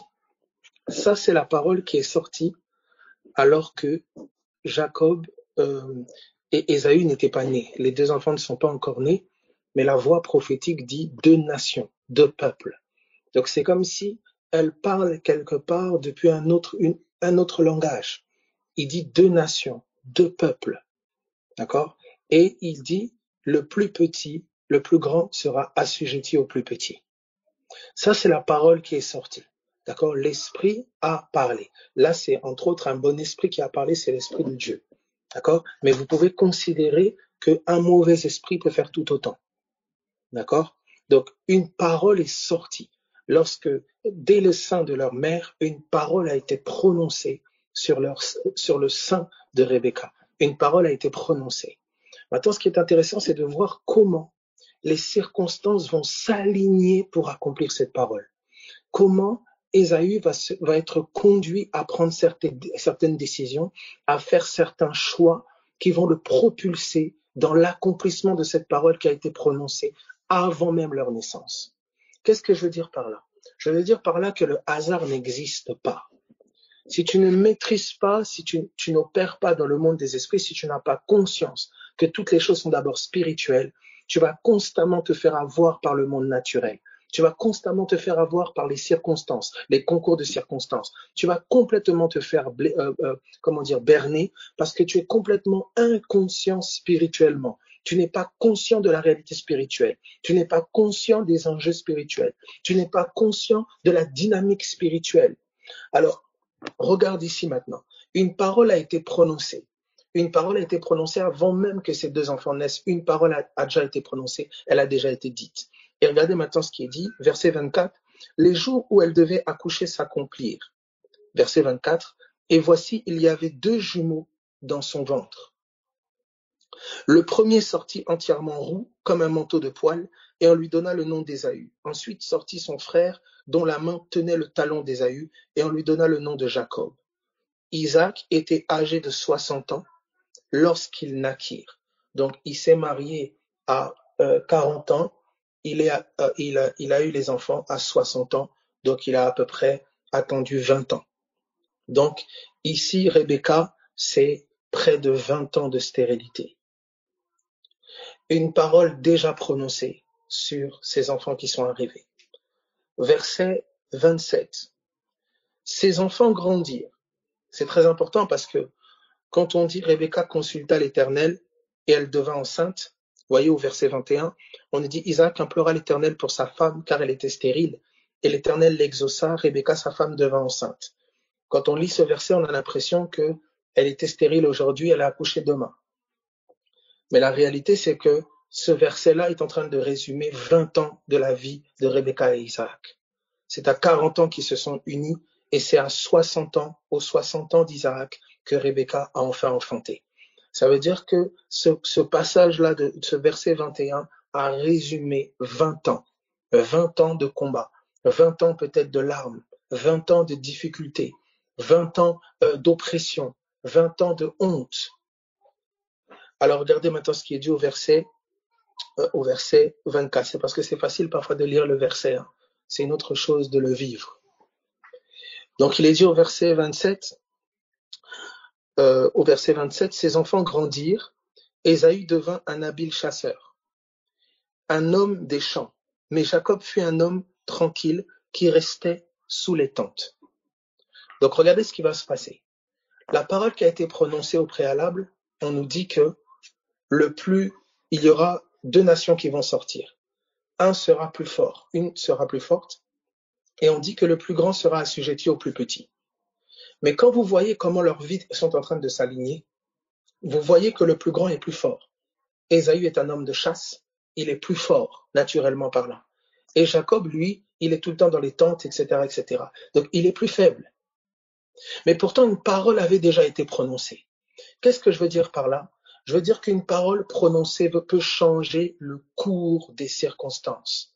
Même adultes, on vous dit que les deux grandirent. Et comment ils ont grandi? Ils ont grandi avec Ésaü qui est plus fort et Jacob qui est plus faible. Mais parce qu'une parole initiale avait été prononcée, tout s'est renversé à un certain âge. Faites très attention. La parole passe devant les circonstances.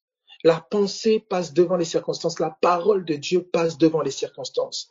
Tu peux, euh, tu peux jouir de bienfaits. Tu peux être à l'aise. Tout peut aller bien. Tout peut tourner nickel. Et tout peut basculer parce qu'une parole était en train de travailler à tout détruire. De la même manière, tu peux avoir un parcours chaotique depuis tout petit. Ça a été destruction sur destruction, peine sur peine, malheur sur malheur mais une parole peut changer et faire basculer la donne en un instant. La parole, c'est, c'est-à-dire que c'est la parole de Dieu, c'est la parole dans l'esprit qui régit le naturel. La terre est éclairée par les luminaires dans le ciel, par la révélation, par les révélations du ciel. Et le problème, c'est que quand il y a une parole qui te suit, le problème, c'est que tu ne te rends pas compte que toutes les circonstances veulent s'aligner pour te persuader de cette parole, pour incliner ton cœur, pour te pousser aux mauvaises décisions, pour te pousser aux mauvais choix. Il faut du discernement. C'est pour ça qu'on dit veiller et prier, veiller et prier. Parce qu'une parole peut te poursuivre pour te pousser toujours aux mêmes décisions, toujours aux mêmes déceptions, toujours aux mêmes incompréhensions, toujours aux mêmes choix qui te font faire n'importe quoi. Parce qu'une parole te suit, parce qu'un esprit te combat. C'est pour ça qu'il faut être, c'est très important, c'est très important, mes amis, de veiller, de veiller. Pourquoi j'aime la, croix? Il est dit, on parle de Golgotha.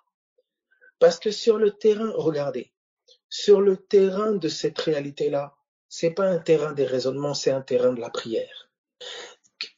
Si tu passes ton temps à raisonner, à réfléchir, tu pourras jamais voir en Jacob quelqu'un qui sera plus fort qu'Ésaü. C'est pas possible.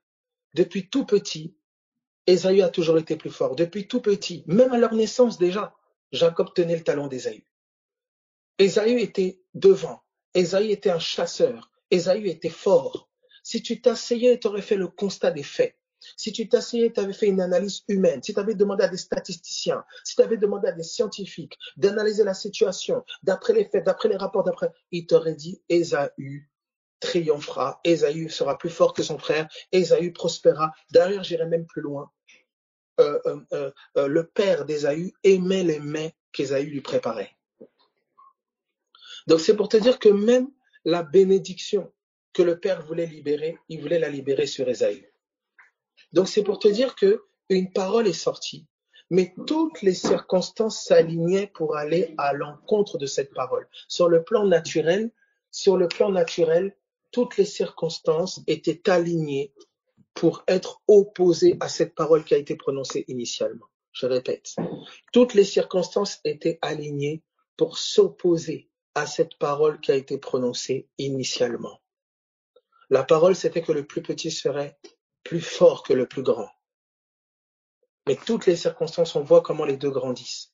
On voit comment chacun évolue. Et on s'est dit, naturellement, j'ai bien dit naturellement, Ésaü est plus fort. Ésaü est plus apprécié que son père, chez son père. Ésaü prépare euh, euh, chasse et, son père le bénit, etc.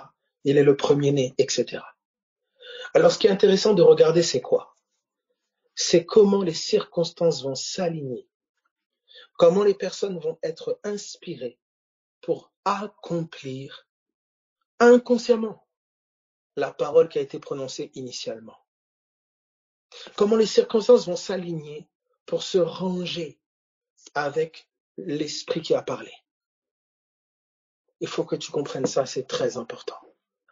Aujourd'hui, par exemple, si quelque chose veut me pousser à m'énerver, toutes les circonstances vont s'aligner pour me pousser à m'énerver. Parce que énervé, je peux prendre une mauvaise décision, énervé, je peux dire certaines choses, énervé, je peux faire certaines choses. Si par exemple aujourd'hui un esprit veut que j'aille, je sais pas moi, euh, veut que j'aille, euh, euh, sais pas moi, prendre de la drogue, je sais pas comment vous dire, toutes les circonstances vont s'aligner pour que j'aille prendre de la drogue. Et les circonstances les plus logiques, qui semblent les plus logiques.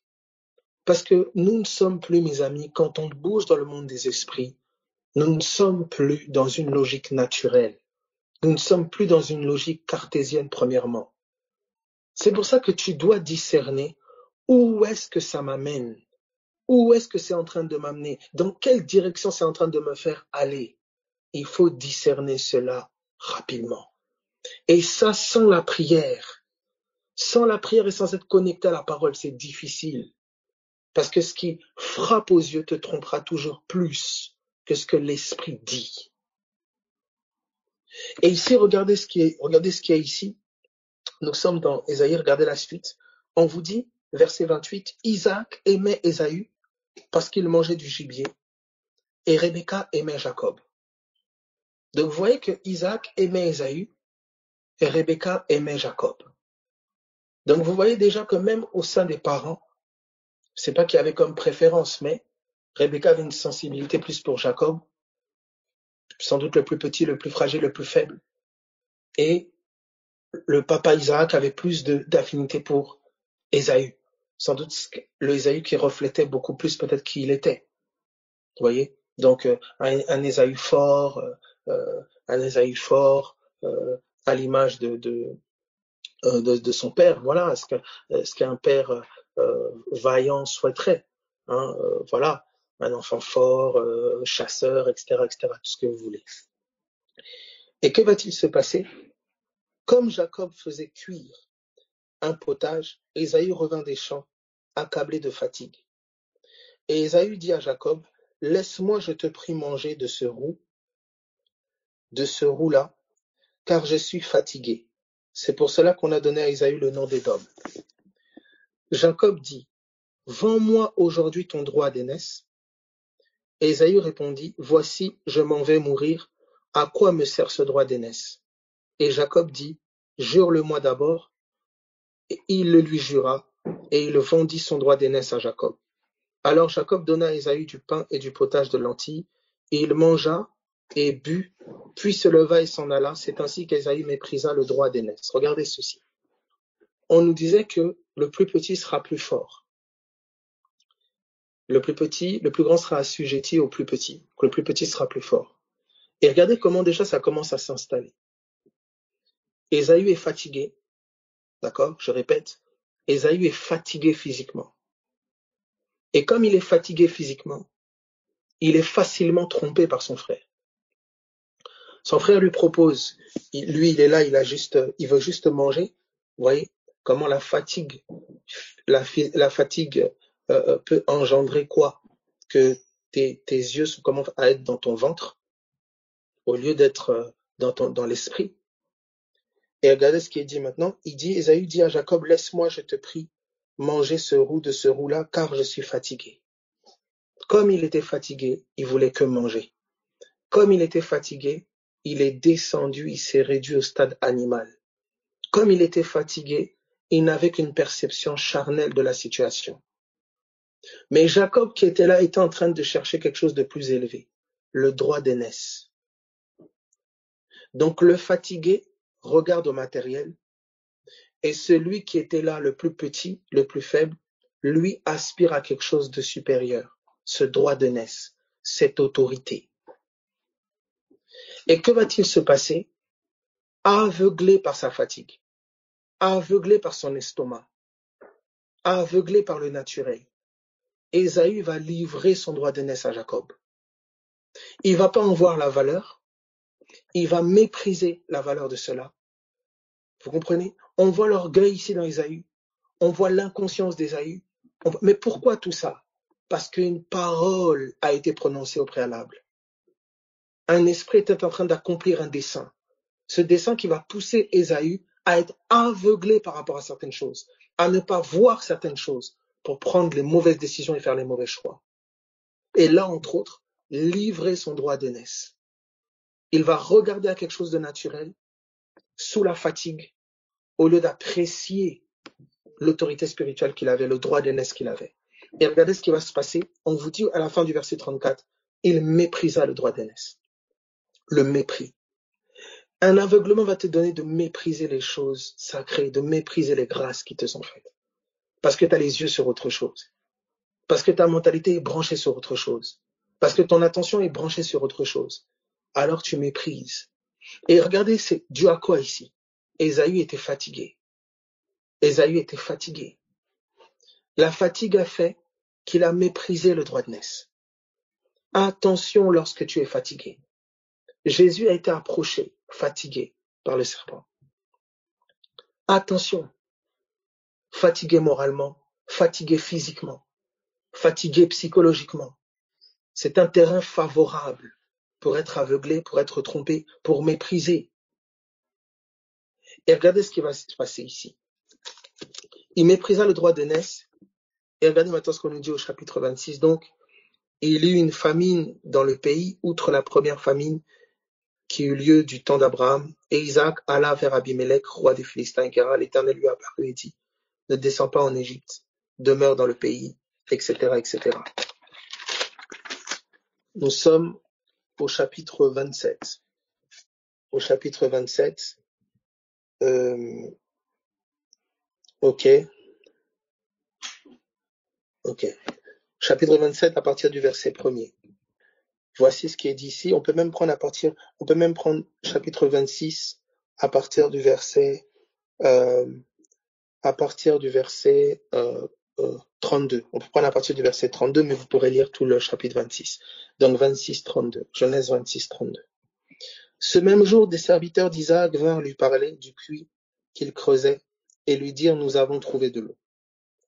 Et il l'appela Shiba. C'est pourquoi on a donné à la ville le nom de Beersheba jusqu'à ce jour.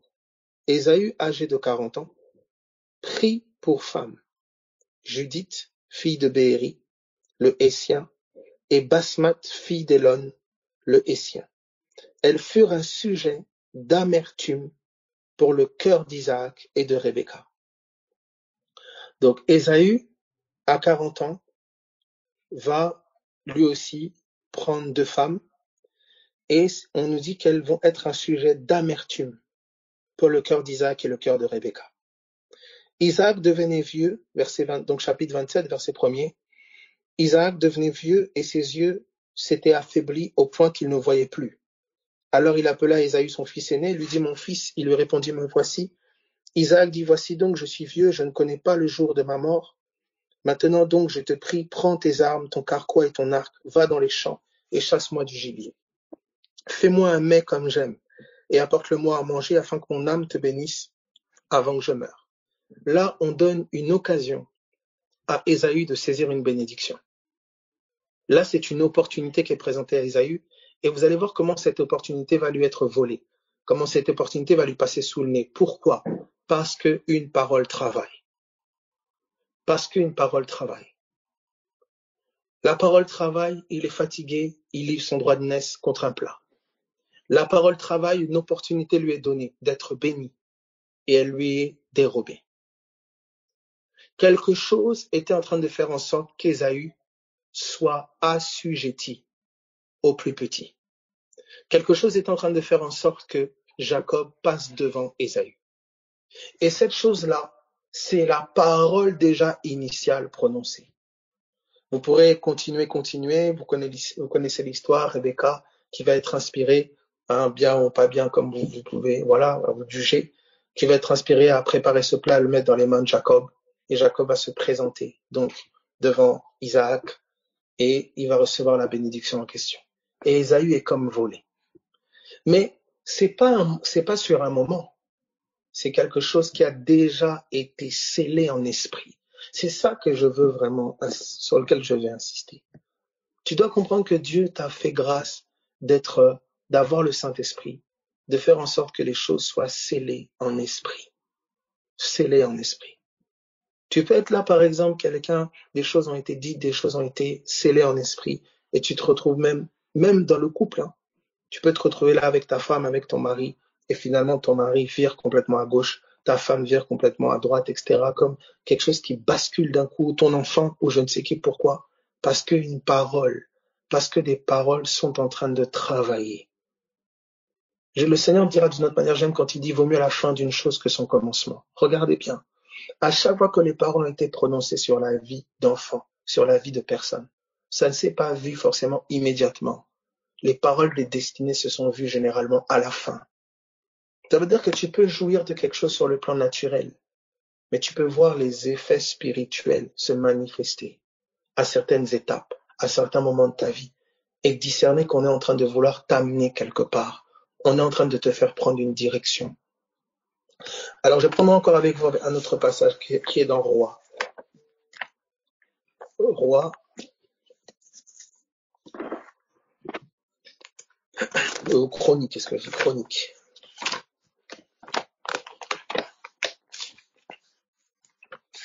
Deux chroniques. Deux chroniques, chapitre 18, à partir du verset 2 Chroniques 18, à partir du verset 12. Donc je lis. Le messager qui était allé appeler Miché lui parla ainsi. Voici les prophètes d'un commun accord prophétisent du bien au roi. Que ta parole soit donc comme la parole de chacun d'eux. Annonce du bien. J'explique le contexte.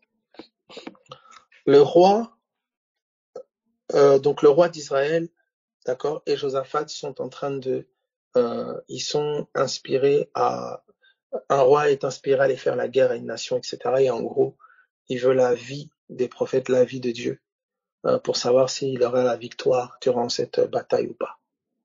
Lui, il tient vraiment à y aller. Pour ça, il consulte donc des prophètes. Et donc, 400 prophètes vont défiler l'un après l'autre, lui disant, tu vas, auras la victoire, tu vas vaincre, etc., etc. Mais bizarrement, bien que 400 prophètes lui aient dit la même chose, on va voir que le roi Josaphat va dire, mais est-ce qu'il n'y a pas quelqu'un ici qui parle selon l'Éternel, qui dit comme si quelque chose en lui savait que c'était pas ça? Et donc ils vont, ils vont appeler Miché. Miché qui avait la réputation de dire les choses, de marcher, voilà, selon ce que l'Éternel lui disait. et il avait cette réputation-là d'ailleurs le roi dira donc à, son collègue roi, euh, euh, lui, il ne prophétise jamais rien de bon. Donc, on va chercher le Miché en question. Et voici ce qu'on dit à Miché. Donc, le messager qui va faire appeler Miché, pour que Miché aille prophétiser devant les rois en question, voici ce qu'il va lui dire. Donc, verset 12, le messager qui était allé appeler Miché lui parla ainsi. Voici les prophètes d'un commun accord. Ils se sont tous accordés pour dire du bien au roi, pour prophétiser du bien au roi. Que ta parole soit donc comme la parole de chacun d'eux, annonce du bien. Donc on voit que ils se sont d'un commun accord.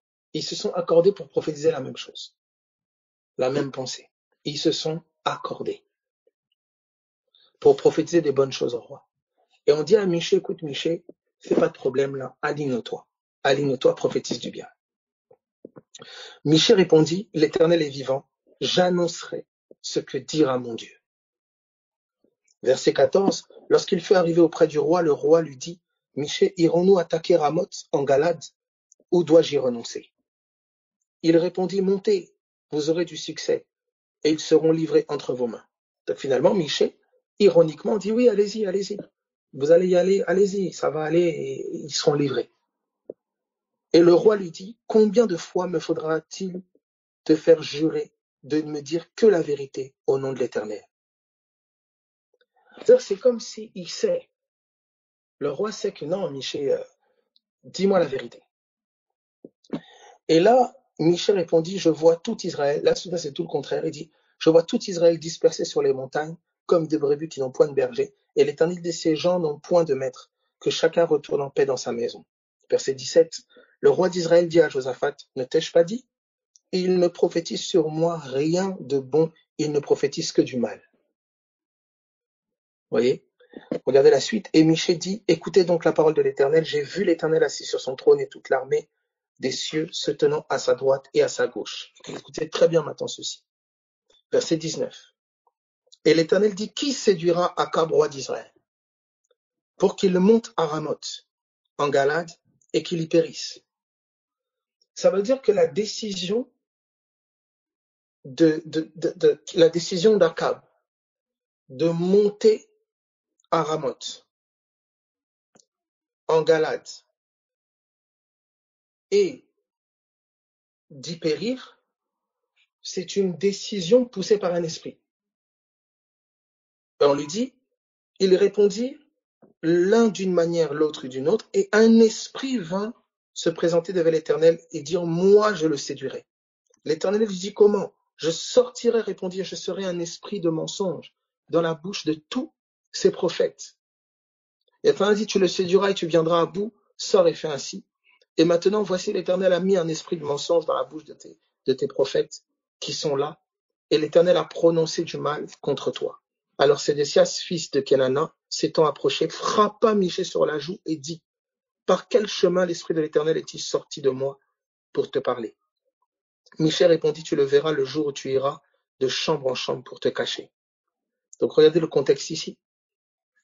Un esprit de mensonge, donc, va infiltrer la bouche de tous ces prophètes-là. C'est un seul esprit qui tient la bouche de tous ces prophètes-là, qui vont pousser Akab à prendre la décision d'aller à Ramoth.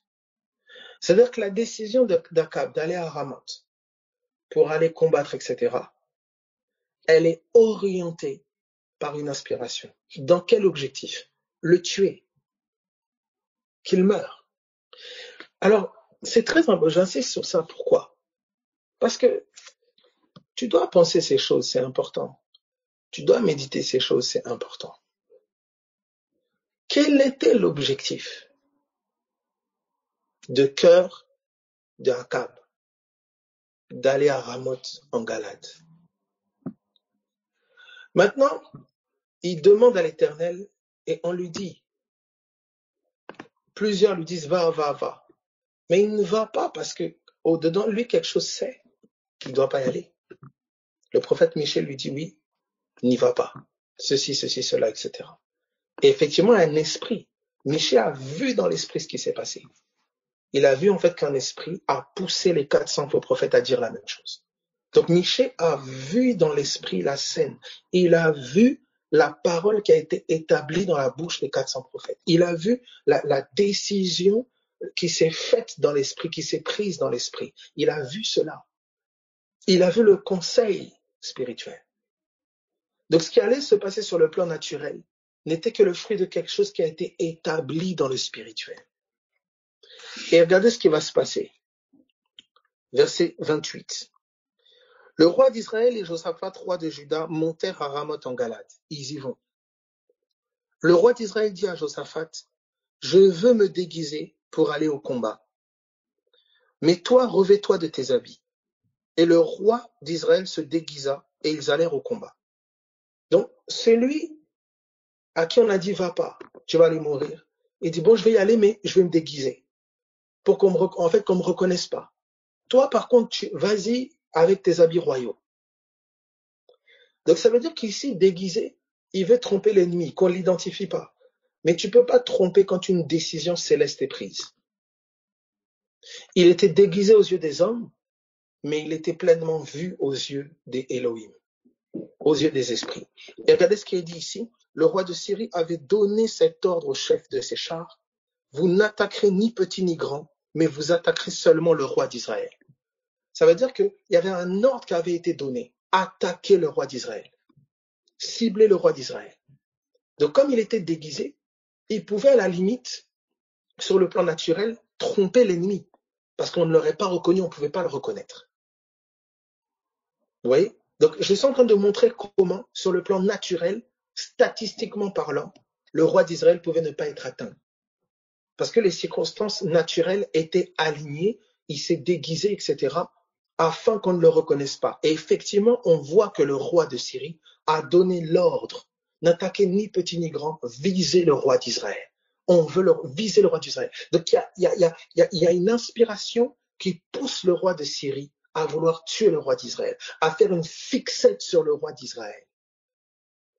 Mais le roi d'Israël se déguise. Le roi d'Israël se déguise et il va quand même au front. Et regardez ce qui va se passer. Quand les chefs des chars aperçurent Josaphat, ils dirent c'est le roi d'Israël. Et ils l'entourèrent pour l'attaquer. Josaphat poussa un cri et l'Éternel le secourut et Dieu les écarta de lui. Les chefs des chars, voyant que ce n'était pas le roi d'Israël, s'éloignèrent de lui. Alors un homme tira de son arc au hasard. Ça veut dire qu'au départ, quand ils ont vu Josaphat, ils ont dit, ah, c'est lui. Ils sont allés sur lui et Josaphat a crié à Dieu, ah, il a été secouru. Et ils se sont rendus compte en s'approchant de lui que, ah, mais c'était pas lui. Et on nous dit là que il y a un soldat, un homme qui a tiré de son arc au hasard. Il a tiré au hasard. Et regardez ce qu'on nous dit. Et frappa le roi d'Israël au défaut de la cuirasse. Le roi dit à celui qui dirige son char, tourne et fais-moi sortir du champ de bataille car je suis blessé.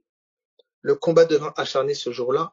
Le roi d'Israël fut retenu dans son char en face des Syriens jusqu'au soir et il mourut vers le coucher du soleil. Qu'est-ce qui est intéressant de regarder ici? Parce qu'une parole avait été prononcée, une flèche tirée au hasard n'était plus une flèche tirée au hasard. Le fait qu'il y ait initialement une parole qui a dit en montant à Galad là-bas tu vas mourir. Quelque chose a poussé le roi d'Israël à monter là-bas. Et qu'est-ce qui a poussé le roi d'Israël? Un esprit de séduction, un esprit mensonger a poussé le roi dans cette direction-là pour qu'il meure. Cet esprit, une fois que cette parole a été scellée, regardez ce qui se passe la flèche est tirée au hasard, mais elle le tue quand même. Ça veut dire que quand spirituellement les choses sont décidées, le hasard n'existe plus. Il n'y a plus de hasard. Ça veut dire que quelqu'un, par exemple, qui va vous dire, ah oui, euh, je sais pas moi, euh, euh, par exemple, je sais pas moi, un esprit va me convaincre de manger du chocolat. Et, et, et, et moi, je me dis non, faut pas que je mange du chocolat. Et puis, J'arrive dans un, j'arrive à un repas, on me propose six chocolats. Je vais dire, ah, comme par hasard, on m'a proposé six chocolats. Maintenant, je peux commencer à me dire, ah, mais ça, ça se trouve, Dieu veut que je mange du chocolat. Mais mon ami, la parole initiale, c'est quoi? Que tu ne manges pas de chocolat. Éloigne-toi du chocolat. Que ton cœur n'embrasse pas le chocolat.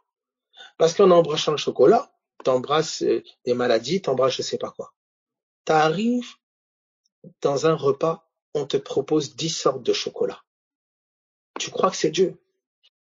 Lorsque tu connais la pensée de Christ, tu sais discerner ce qui va dans sa direction ou non. Maintenant, si quelqu'un vient te présenter dix chocolats, est-ce que c'est gentil? Ben oui, c'est trop gentil. Ah, c'est sympa. T'as pensé à moi? 10 chocolats? Oh, waouh, c'est trop sympa. Est-ce que c'est mauvais? Non, c'est pas mauvais. C'est bien. Mais pour toi, c'est mortel. Ici, vous avez ce soldat. Vous avez cet homme, euh, euh Jacob. Esaü a faim. Il vend son droit de naissance. Parce qu'une parole initiale avait déjà été prononcée. Le roi d'Israël monte au front on tire une flèche, on le tue. Tirer, flèche tirée au hasard, parce qu'une parole avait été prononcée. Qu'est-ce que je veux dire par là? Ce qui se fait dans le naturel est d'abord décidé dans le spirituel. Et quand on dit spirituel, on parle de monde du cœur. Tu ne dois pas être naïf. Si spirituellement des choses ont été prononcées sur ton enfant, si spirituellement des choses ont été prononcées sur ta vie, si spirituellement on vient te chercher par rapport à certaines choses, sache-le que les circonstances vont s'aligner pour que tu embrasses cette vérité, pour que, pour que tu te laisses être persuadé par cela. par exemple, si un esprit a dit, toi, tu échoueras dans tout, de toute façon, tu es nul, de toute façon, ceci, on va t'orienter afin que tu prennes une décision et cette décision va t'amener à un échec pour que, et cet échec-là, pour pouvoir asseoir la vérité, pour, ça, pour pouvoir asseoir dans ton cœur le mensonge que toi, de toute façon, tu échoueras tout le temps. Le problème, c'est pas la circonstance. Le problème, c'est la parole qui t'habite. C'est la pensée qui t'habite. C'est le raisonnement qui t'habite. C'est ça le problème. C'est pas les circonstances, c'est pas les situations, c'est pas les faits. C'est la mentalité qui t'habite. Alors, quelqu'un dira, oui, comment je me fais, comment je fais euh, par rapport à une mentalité, tout ça et que ça. Mais on parle d'un combat. On vous dit, nous ne combattons pas contre la chair et le sang, mais nous combattons contre des esprits, tout ça, Il dit, les armes avec lesquelles nous combattons, elles sont puissantes pour la vertu de Dieu, pour faire quoi? Pour renverser les forteresses. Nous renversons les raisonnements. Ces raisonnements-là se renversent pas parce que je bois un petit café, parce que je vais me détendre, parce que je décide de faire un tour, parce que je décide de d'aller en vacances. Non. Ces raisonnements-là tombent par la vertu du Saint-Esprit, par la révélation de la parole. C'est dans la prière que ces trucs-là tombent. C'est dans la prière que ces forteresses, ces raisonnements sont renversés. Parce qu'il y a un combat. C'est la foi qui renverse ces raisonnements. C'est une foi vivante qui renverse ces choses. Mais il y a un combat. Il y a un combat. Et le combat, je répète tout bon, c'est un combat de persuasion. C'est un combat de persuasion. Jérémie. Jérémie. Et c'est malheureux parce que quand tu n'es pas alerte, quand tu n'es pas averti, on veut toujours, en fait, on va toujours aisément t'avoir. On va toujours aisément t'avoir. Et tu vas toujours, toujours, toujours, toujours te faire avoir tant que quoi? Tant que je ne suis pas concentré là où on m'appelle à être concentré. Mes amis, la vigilance, vous savez, quand on parle de vigilance, on parle, si vous prenez par exemple un sentinelle ou des, euh, sentinelles, quand on place des sentinelles, par exemple, je sais pas moi, à la gare de Bordeaux, à telle gare, tel endroit, mes amis, pourquoi un sentinelle doit veiller? Une attaque, elle vient pas tous les matins. Une attaque vient à un moment favorable. La caractéristique du sentinelle, c'est très particulier. Ceux qui font les routes, ceux qui... Pourquoi? Parce que quand il n'y a pas d'attaque, il n'y a pas d'attaque, il n'y a pas d'attaque, il n'y a pas d'attaque, le sentinelle peut baisser sa garde. Le veilleur de nuit peut commencer à se permettre de faire une petite sieste. Mais le problème, c'est que le prédateur qui guette le terroriste qui guette, il va attendre la sieste. Il va attendre le moment favorable. Alors qu'est-ce qui va se passer? Vous allez avoir quelqu'un qui va vous dire ah oui mais moi euh, euh, euh, du lundi du lundi au samedi j'ai veillé comme pas possible j'ai veillé et puis c'est dimanche matin à peine quand j'ai fini dimanche matin je me reposais un peu et là on m'a attaqué donc la personne va se dire, ah ben, ah, j'ai veillé de lundi à samedi pour rien. Non. Non. Pendant que tu as veillé de lundi à samedi, tu as évité peut-être certaines attaques depuis lundi, depuis mardi, depuis. Oui. Mais le problème, c'est que dimanche aussi est un jour. On veille pas que ben quand euh, euh, je sais pas moi ah ben là c'est bon j'ai suffisamment veillé non on va t'avoir au moment où tu vas baisser la garde on va t'avoir un moment, tu vas dire, ah, je vais faire un peu, prendre je fais un petit tour, je vais faire un petit peu de vacances, je sais pas quoi. C'est là, mais tu penses quoi? Un prédateur. Satan rôde comme un lion, cherchant qui. Il rôde. Il rôde. Il est en, il, veille. Il attend le moment favorable. Et que tu es, dans un moment, quel est le moment favorable? Mais regardez ici, vous voyez comment euh, euh, euh, il attend le moment favorable. Ésaü, Ésaü est trompé. Pourquoi? Il est fatigué. Il est fatigué. C'est pour ça que quand tu discernes les moments favorables dans ta vie, tu accentues la charge. Soit tu la répartis, soit tu accentues la garde. Moi, je me demande, il y a des personnes, je sais pas, tu n'es pas fatigué de toujours te faire avoir par le même truc. Et puis, si tu regardes bien, tu vois, tu, tu te permets, ah, bon, là, je vais, je vais me détendre un peu. Ah, là, je vais me changer un peu les idées. Ah, là, j'ai pas, j'ai, ah, je comprends pas pourtant, je comprends, tu comprends pas pourtant quoi? C'est pas une affaire, en fait, c'est pas, c'est une affaire de timing. La veille, c'est un style de vie. Veillez et priez parce que vous ne connaissez ni l'heure. Donc, c'est-à-dire que la personne est constamment en état d'alerte.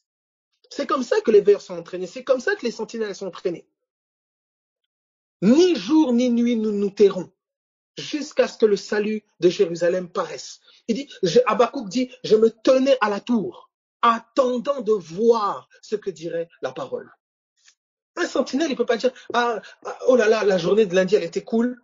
La, nuit de mardi, elle était tranquille. La nuit de mercredi, elle était tranquille. Ah bon, comme les trois nuits là, début de semaine, c'était tranquille. La nuit de jeudi, je vais aller danser la, la salsa. Mon ami, c'est là, cette nuit-là, qu'on va venir cambrioler la maison. Mais oui. Parce que tu sais pas que la nuit de lundi qui était tranquille, on était en train de te regarder. La nuit de mardi qui était tranquille, on était en train de te regarder. La nuit de mercredi qui était tranquille, on était en train de te regarder. Pendant que toi, tu pars danser la salsa, on t'a regardé lundi, mardi, mercredi. On t'a regardé, on t'a guetté, on t'a épié. Mes amis, on est en guerre. Il faut avoir cette conscience, c'est très important. Si, je sais pas, on est en guerre. Quand je vois beaucoup de familles là, dans, le tourisme, mon ami, quand le cancer vient frapper à la porte, quand les frappes viennent frapper à la porte, quand les fous viennent frapper à la porte, on se dit, mais c'est, waouh, qu'est-ce qui se passe? On pense que c'est que chez l'autre. Nous sommes en guerre. Tu sais que, tu sais que, tu, sais que par rapport à, je sais pas moi, euh, comment, comment je peux dire, la posture. Et alors, Abel, ok, comment je veille? Veiller, prier. Tu peux, écoutez, tu ne peux pas veiller avec les raisonnements humains. Tu peux pas. Si l'éternel ne veille, celui qui veille, il veille en vain. Qu'est-ce qui invite l'Éternel à, la veille, la prière. Nous nous attendons à sa veille. Toujours les mêmes pilules, on, va toujours te faire avaler les mêmes pilules, les mêmes mensonges, les mêmes trucs, toujours la même chose, toujours la même chose, toujours la même chose.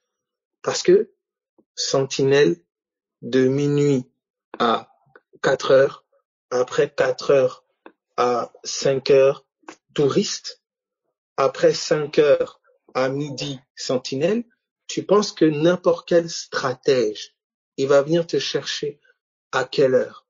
À 4 heures, à 5 heures.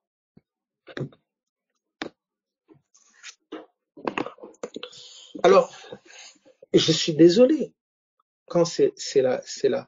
Et, mes amis, plus les, regardez, hein, vous avez vu les plans Vigipirate. Les gens sont là avec leurs armes, en état d'alerte, on va dire état d'alerte maximum, tout ça. Parce que il y a des différents niveaux d'état d'alerte. Maintenant, certains vont être là à rôder avec leurs armes et tout ça. Pendant que d'autres sont sur des terrasses, ils boivent leurs petits verres, tout ça. C'est paisible, il n'y a rien. Mais quand ça chauffe, ils sont censés être prêts.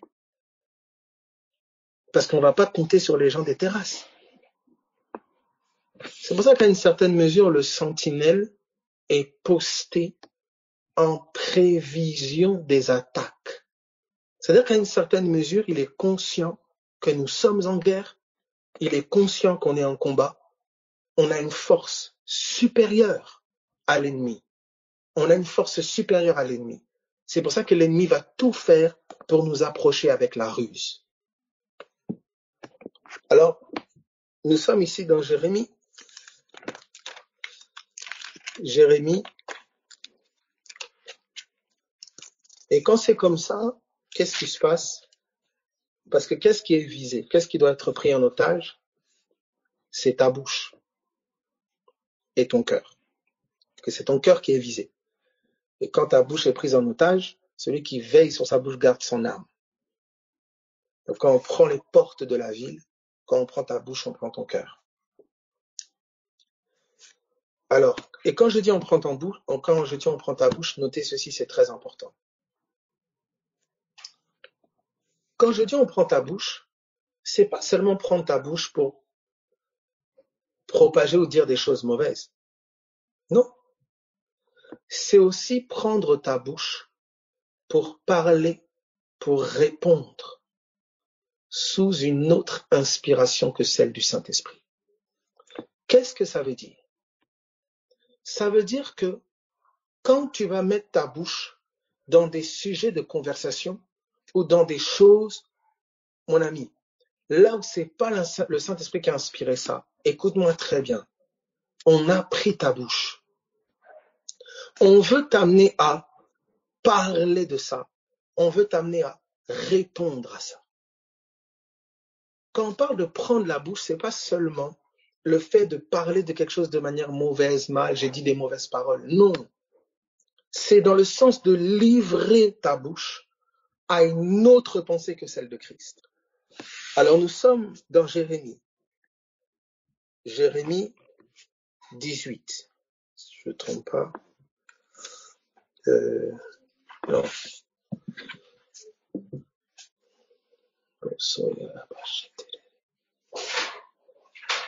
C'est Jérémie 20. Jérémie 20. À partir du verset 7.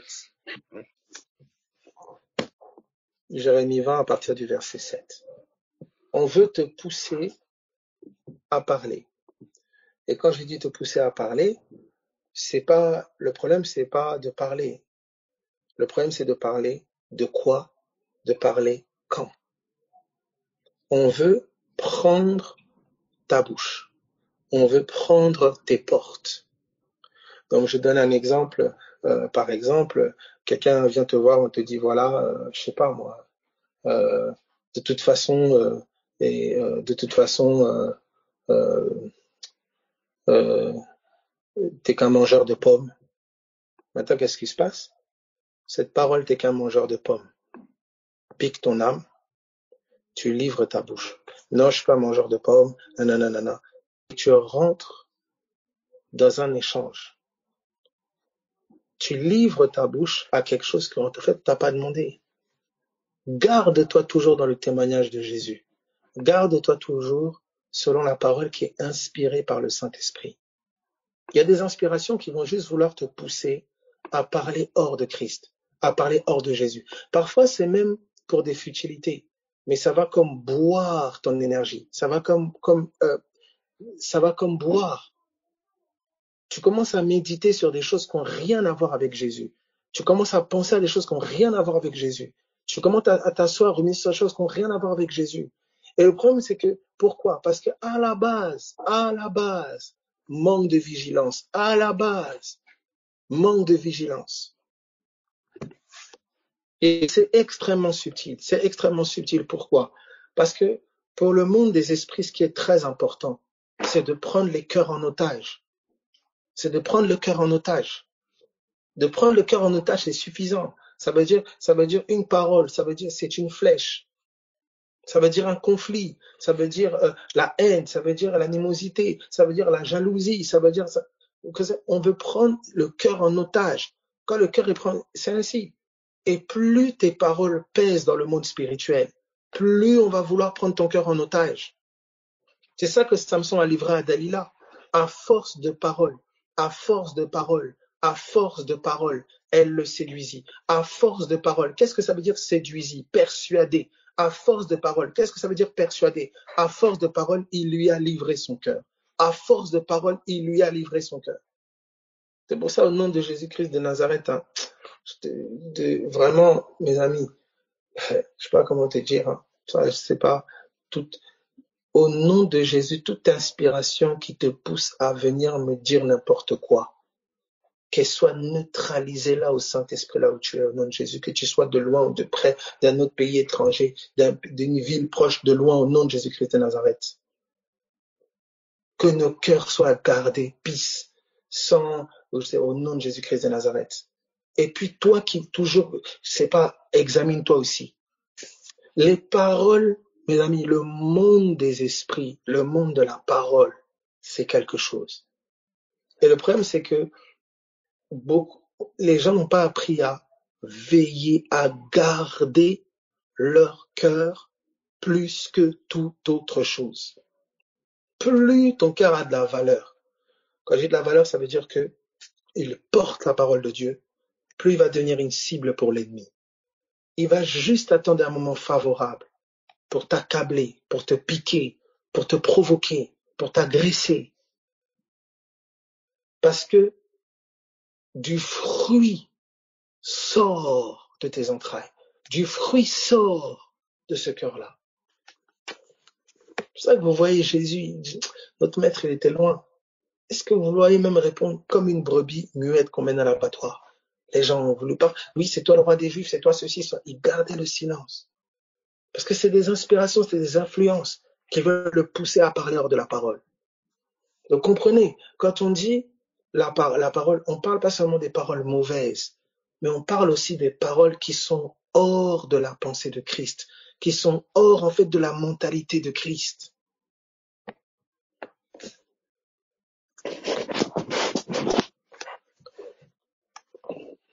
Jérémie chapitre 20 à partir du verset 7. Je lis. Tu m'as persuadé, éternel, et je me suis laissé persuader. D'autres versions disent, tu m'as séduit, je me suis laissé séduire. Et, où est-ce que je mets l'accent ici? C'est, tu m'as saisi, tu m'as vaincu.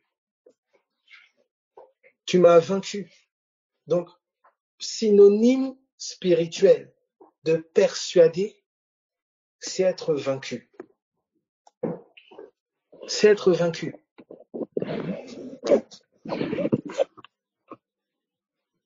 c'est être vaincu. Donc, regardez la suite. Et je suis chaque jour un objet de moquerie. Tout le monde se moque de moi. Car toutes les fois que je parle, il faut que je crie, que je dénonce la violence et l'oppression, et la parole de l'Éternel est pour moi un sujet de honte et de risée chaque jour. Si je dis je ne ferai plus mention de lui, il ne parlera plus en ton nom, je ne parlerai plus en son nom, il y a dans mon cœur comme un feu dévorant qui est renfermé dans mes os. Je m'efforce de le contenir et je ne le puis. Il dit, quand je dis, je ne ferai plus mention de lui, je ne parlerai plus en son nom, il y a dans mon cœur comme un feu dévorant qui est renfermé dans mes os. Je m'efforce de le contenir et je ne le puis. Vous voyez le cas de beaucoup de personnes. Non, mais j'aimerais pas penser comme ça. J'aimerais pas dire ça. Mais je sais pas, dans mon cœur, c'est comme un feu. Ça me prend. Ça, voilà, voilà. Au lieu que ce soit maintenant le feu du Saint-Esprit, c'est un feu étranger. Or, un feu, quand on dit, n'éteignez pas l'esprit. Un feu s'éteint ou s'allume, s'entretient.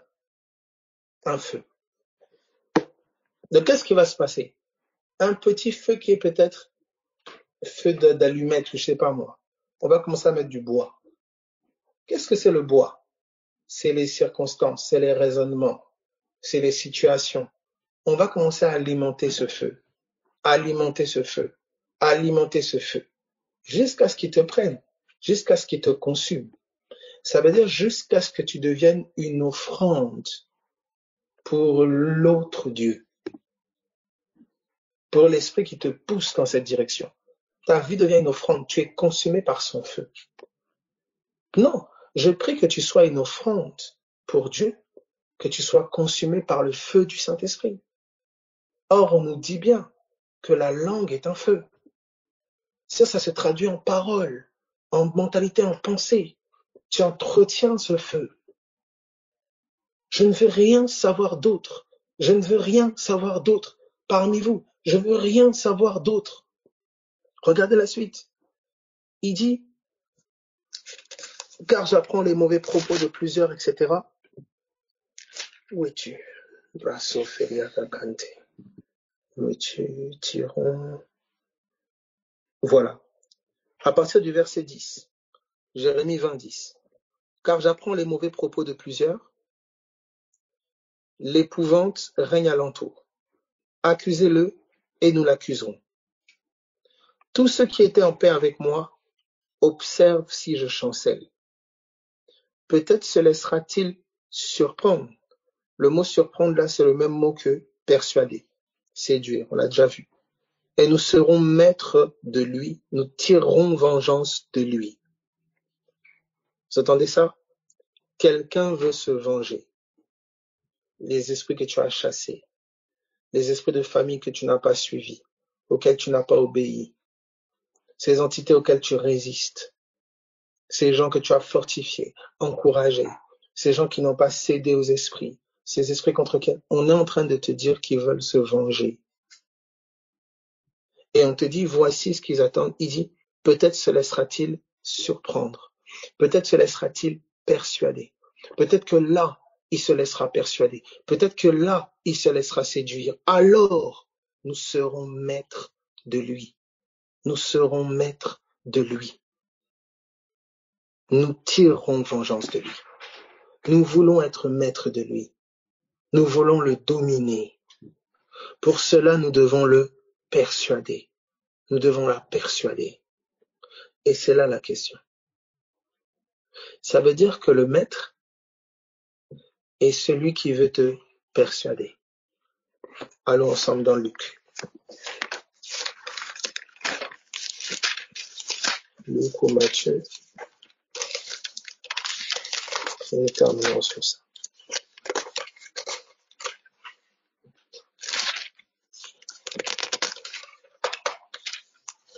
Je prendrai plutôt Matthieu. Matthieu chapitre 6, à partir du verset 24. Matthieu 6, 24.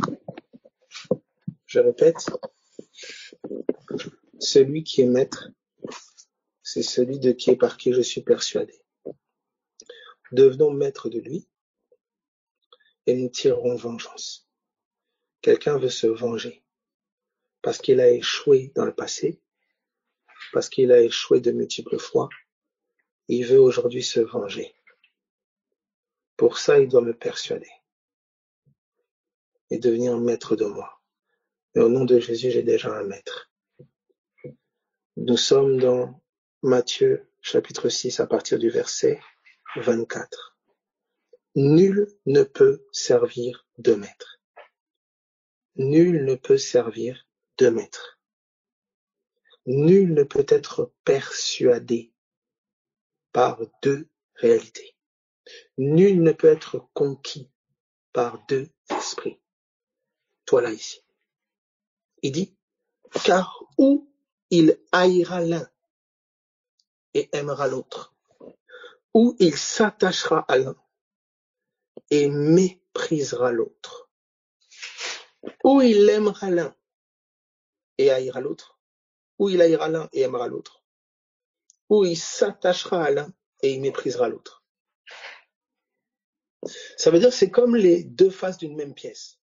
Quand je m'attache, je méprise d'un autre côté. Je m'attache à cette voie, je méprise une autre voie. Je hais cette voie, j'aime l'autre voie. C'est ça qu'il est en train de nous dire ici. Alors regardez maintenant ce qui est dit.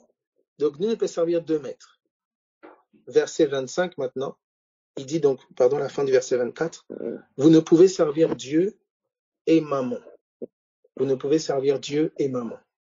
Alors vous avez des personnes qui servent volontairement, qui vont faire des cultes, qui vont euh, volontairement euh, voilà, aller dans des, dans des endroits pour sacrifier des choses, tout ça, tout ça. OK. Mais il y a des formes de service inconscient. Je m'explique. Il dit, vous ne pouvez pas servir Dieu et maman. Maman, c'est le Dieu de l'argent. Vous ne pouvez pas servir Dieu et l'argent. Servir. Il dit, c'est pourquoi je vous dis, ne vous inquiétez pas pour votre vie, de ce que vous mangerez, ni pour votre corps, de quoi vous serez vêtu. D'accord? Donc, en gros, Ne vous inquiétez pas pour votre vie. Donc, l'inquiétude pour ma vie m'amène à servir à notre maître. C'est pas que je veux servir à notre maître, non. C'est que l'inquiétude qu'on dépose en moi, la chose qu'on dépose en moi, me pousse à devenir servante, serviteur d'un autre maître. Alors maintenant, regardez ceci. On vous parle ici de l'inquiétude. Ne vous inquiétez pas. Quelqu'un qui s'inquiète à une certaine forme, il a peur. Vous, on vous exhorte à avoir foi, à avoir confiance en Dieu. Pas avoir peur, vous inquiéter. Non, il dit ça, tu sers à notre maître. Maintenant, regardez ceci. La foi vient de quoi? De ce que j'entends. Vous allez voir que beaucoup de personnes ignorent parfois que garder leur cœur, c'est garder leurs oreilles. Leurs oreilles traînent partout. Et tu sais, quand tu es quelqu'un qui a des oreilles qui traînent partout, l'ennemi se régale parce qu'il va mettre tous ses déchets là-bas. Garde ton cœur. C'est aussi garde tes oreilles. Et quand on dit garde tes oreilles, c'est pas les oreilles seulement externes. C'est surtout les internes. Essaye maintenant de t'asseoir. Médite. Et vois comment l'ennemi te manipule. On te parle de pommes tu arrives quelque part, le sujet de discussion des gens, c'est les pommes. Et puis, ajouter à ça, tu mets aussi ta bouche dans le sujet de discussion, tu parles aussi des pommes. Tu vois pas comment tu te fais avoir. Parce qu'on sait que ton cœur est sensible aux pommes. On sait qu'on veut persuader ton cœur que les pommes, c'est ce qui, c'est ça que tu dois suivre. Alors les circonstances, comprenez ça, c'est très, faut comprendre ces choses, c'est très important. C'est très important. Parce que quand vous voyez les choses se répéter, se répéter, se répéter, des fois ça devient un peu gros quand même. Il y a deux choses qui doivent être examinées. Qu'est-ce qu'on vient chercher chez toi? Qu'est-ce qu'on vient chercher chez toi? Pourquoi c'est à toi qu'on vient parler de pommes Qu'est-ce qu'on vient chercher chez toi? Quel fruit ça produit? C'est très important. Et vous voyez, Jésus, c'était quelque chose. Hein. Il faut regarder le maître. Il faut regarder le maître. Il y a quelque chose qui voulait toujours l'élever. Oh, béni soient les entrailles qui t'ont porté. Il dit non. Béni celui qui écoute ma parole et qui la met en pratique.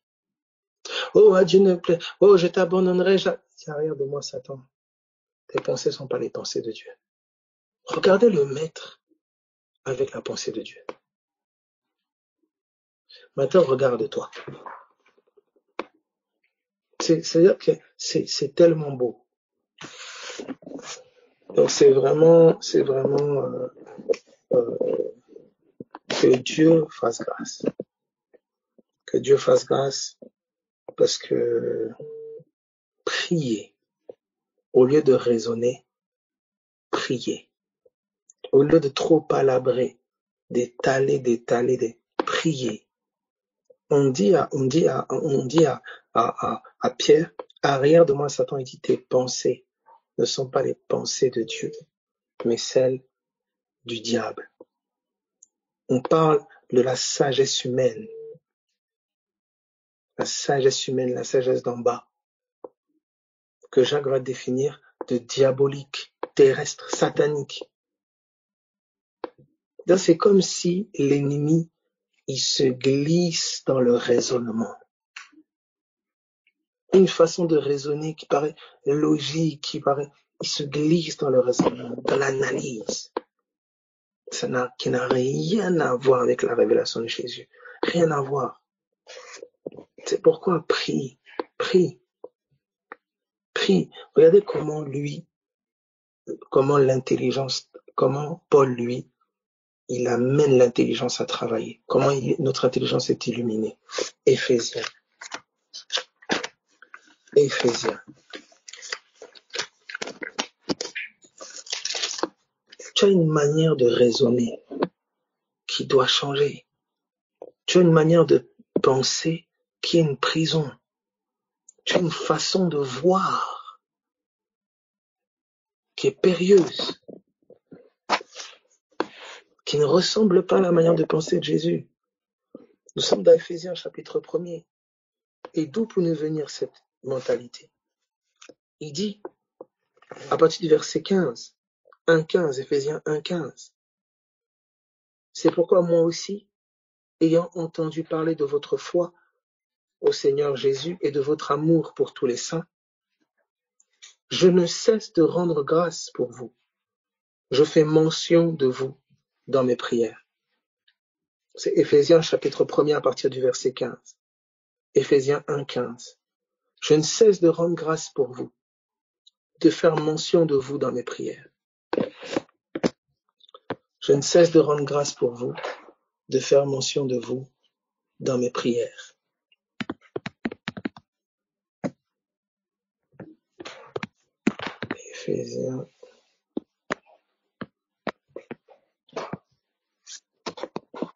Et voici ce qu'il dit.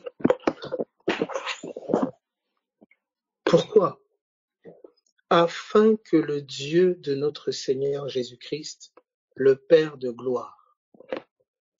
Il dit pourquoi? Il prie.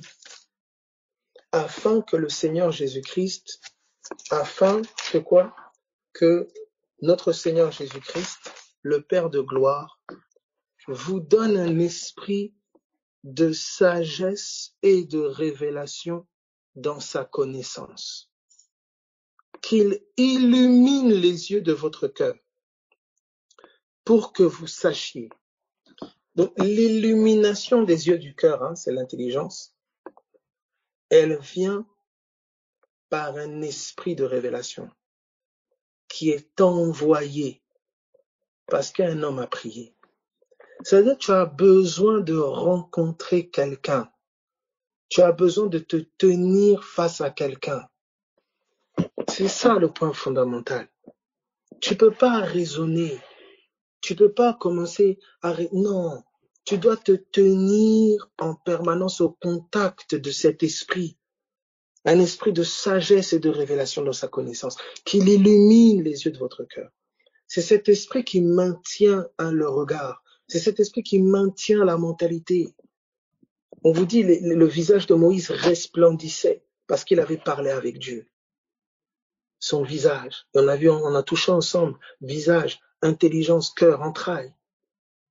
Donc ton cœur brille de l'éclat de celui avec qui tu converses. Donc déjà, c'est une, regardez ici, il prie, il prie. C'est pas quand je veux, je me lève un bon matin, je dis, ah bah, maintenant je te parle, tu me parles. Non. Il prie. Il est dans une posture d'humilité. Un esprit de sagesse et de révélation. Qu'il illumine les yeux de votre cœur. Qu'il illumine les yeux de votre intelligence. Les yeux du cœur ici, c'est l'intelligence. L'intelligence est illuminée par un esprit dans les choses de Dieu. C'est pas illuminé parce que tu as beaucoup lu parce que tu as beaucoup fait je ne sais quoi. Non, c'est illuminé parce qu'un esprit t'a approché, parce qu'une grâce t'a été faite. On te donne le bon regard, on te donne les bons yeux, qui sont les yeux de l'agneau, les yeux de feu de Christ. Pourquoi? Essaie un peu de, t'asseoir un peu. Regarde les, sujets. Quel sujet le ciel aborde avec toi? Essaie un peu de voir. Et regardez, on vous dit, qu'il illumine les yeux de votre cœur pour que vous sachiez quelle est l'espérance qui s'attache à son appel, quelle est la richesse de la gloire de son héritage qu'il réserve aux saints, et quelle est envers nous qui croyons l'infinie grandeur de sa puissance, se manifestant avec efficacité par la vertu de sa force. Il l'a déployé en Christ. Regardez, regardez ce que l'esprit de sagesse et de révélation amène comme connaissance et compréhension. Ça amène la compréhension de l'espérance, de ton héritage, de l'infinie grandeur de la puissance qui est là, qui agit avec efficacité en vertu de sa force, qu'il a déployé en Christ en le ressuscitant des morts. Ça révèle l'évangile. En fait, ça te, comme ça t'illumine et ça te fait voir Jésus.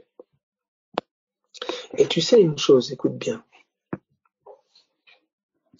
Les épreuves du quotidien révèlent une chose très importante aussi. C'est la volonté de l'homme. À quel point je veux saisir cette grâce? À chaque fois que tu te repositionnes, à chaque fois que tu te relèves comme tu peux te relever selon sa grâce, tu es en train de dire aussi, Jésus, je t'aime. Tu es en train de dire aussi, Seigneur, je veux ça. J'ai pas dit que je voulais connaître les choses de ton royaume en l'air. C'est pas des paroles en l'air. Je tiens encore là. Je m'agrippe. Je pleure. Je rampe. Parce que je veux. Je veux saisir ce que tu as pourvu à la croix. Je veux saisir ce qui m'a été donné par grâce et que ton esprit me révèle. Je veux. Je veux. Je veux saisir ton cadeau. C'est pas une envie d'un moment. C'est pas une envie passagère.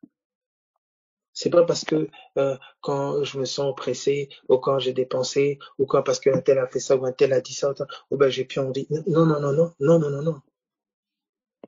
Je veux tellement Seigneur parce que c'est ma vie. Pour moi vivre c'est toi.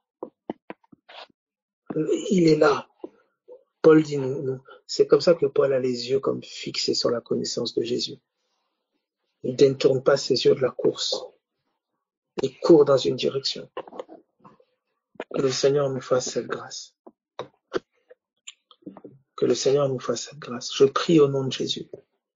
Que quels que soient tes combats, tes difficultés, tes attaques, que tu puisses garder les yeux férocement, je dis bien dit férocement, sur Jésus.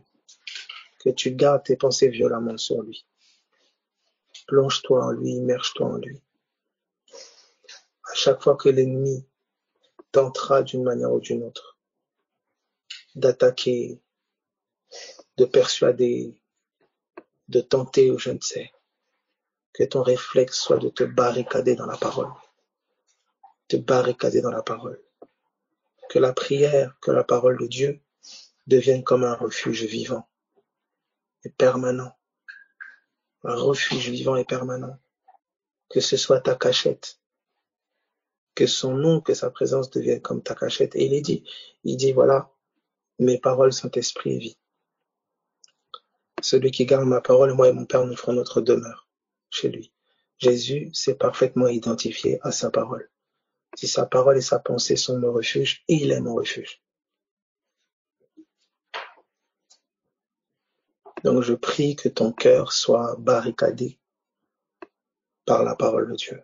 Que les murailles, que les forteresses de ton entendement soient les raisonnements divins, les pensées divines. Que tu cesses de raisonner. Regarde comment on t'attrape toujours de cette façon-là des raisonnements. Tu apprends une mauvaise nouvelle, tu apprends une chose, on te met toutes sortes d'hypothèses, de raisonnements, de logique, de machin, et on t'enferme. Soudain, tu ne pries plus, tu n'es pas focus sur le royaume, tu deviens ingrat, ingrate. Tu perds de vue le cadeau du ciel, tu perds de vue l'objectif divin, tu perds de vue la grâce qui t'a été faite.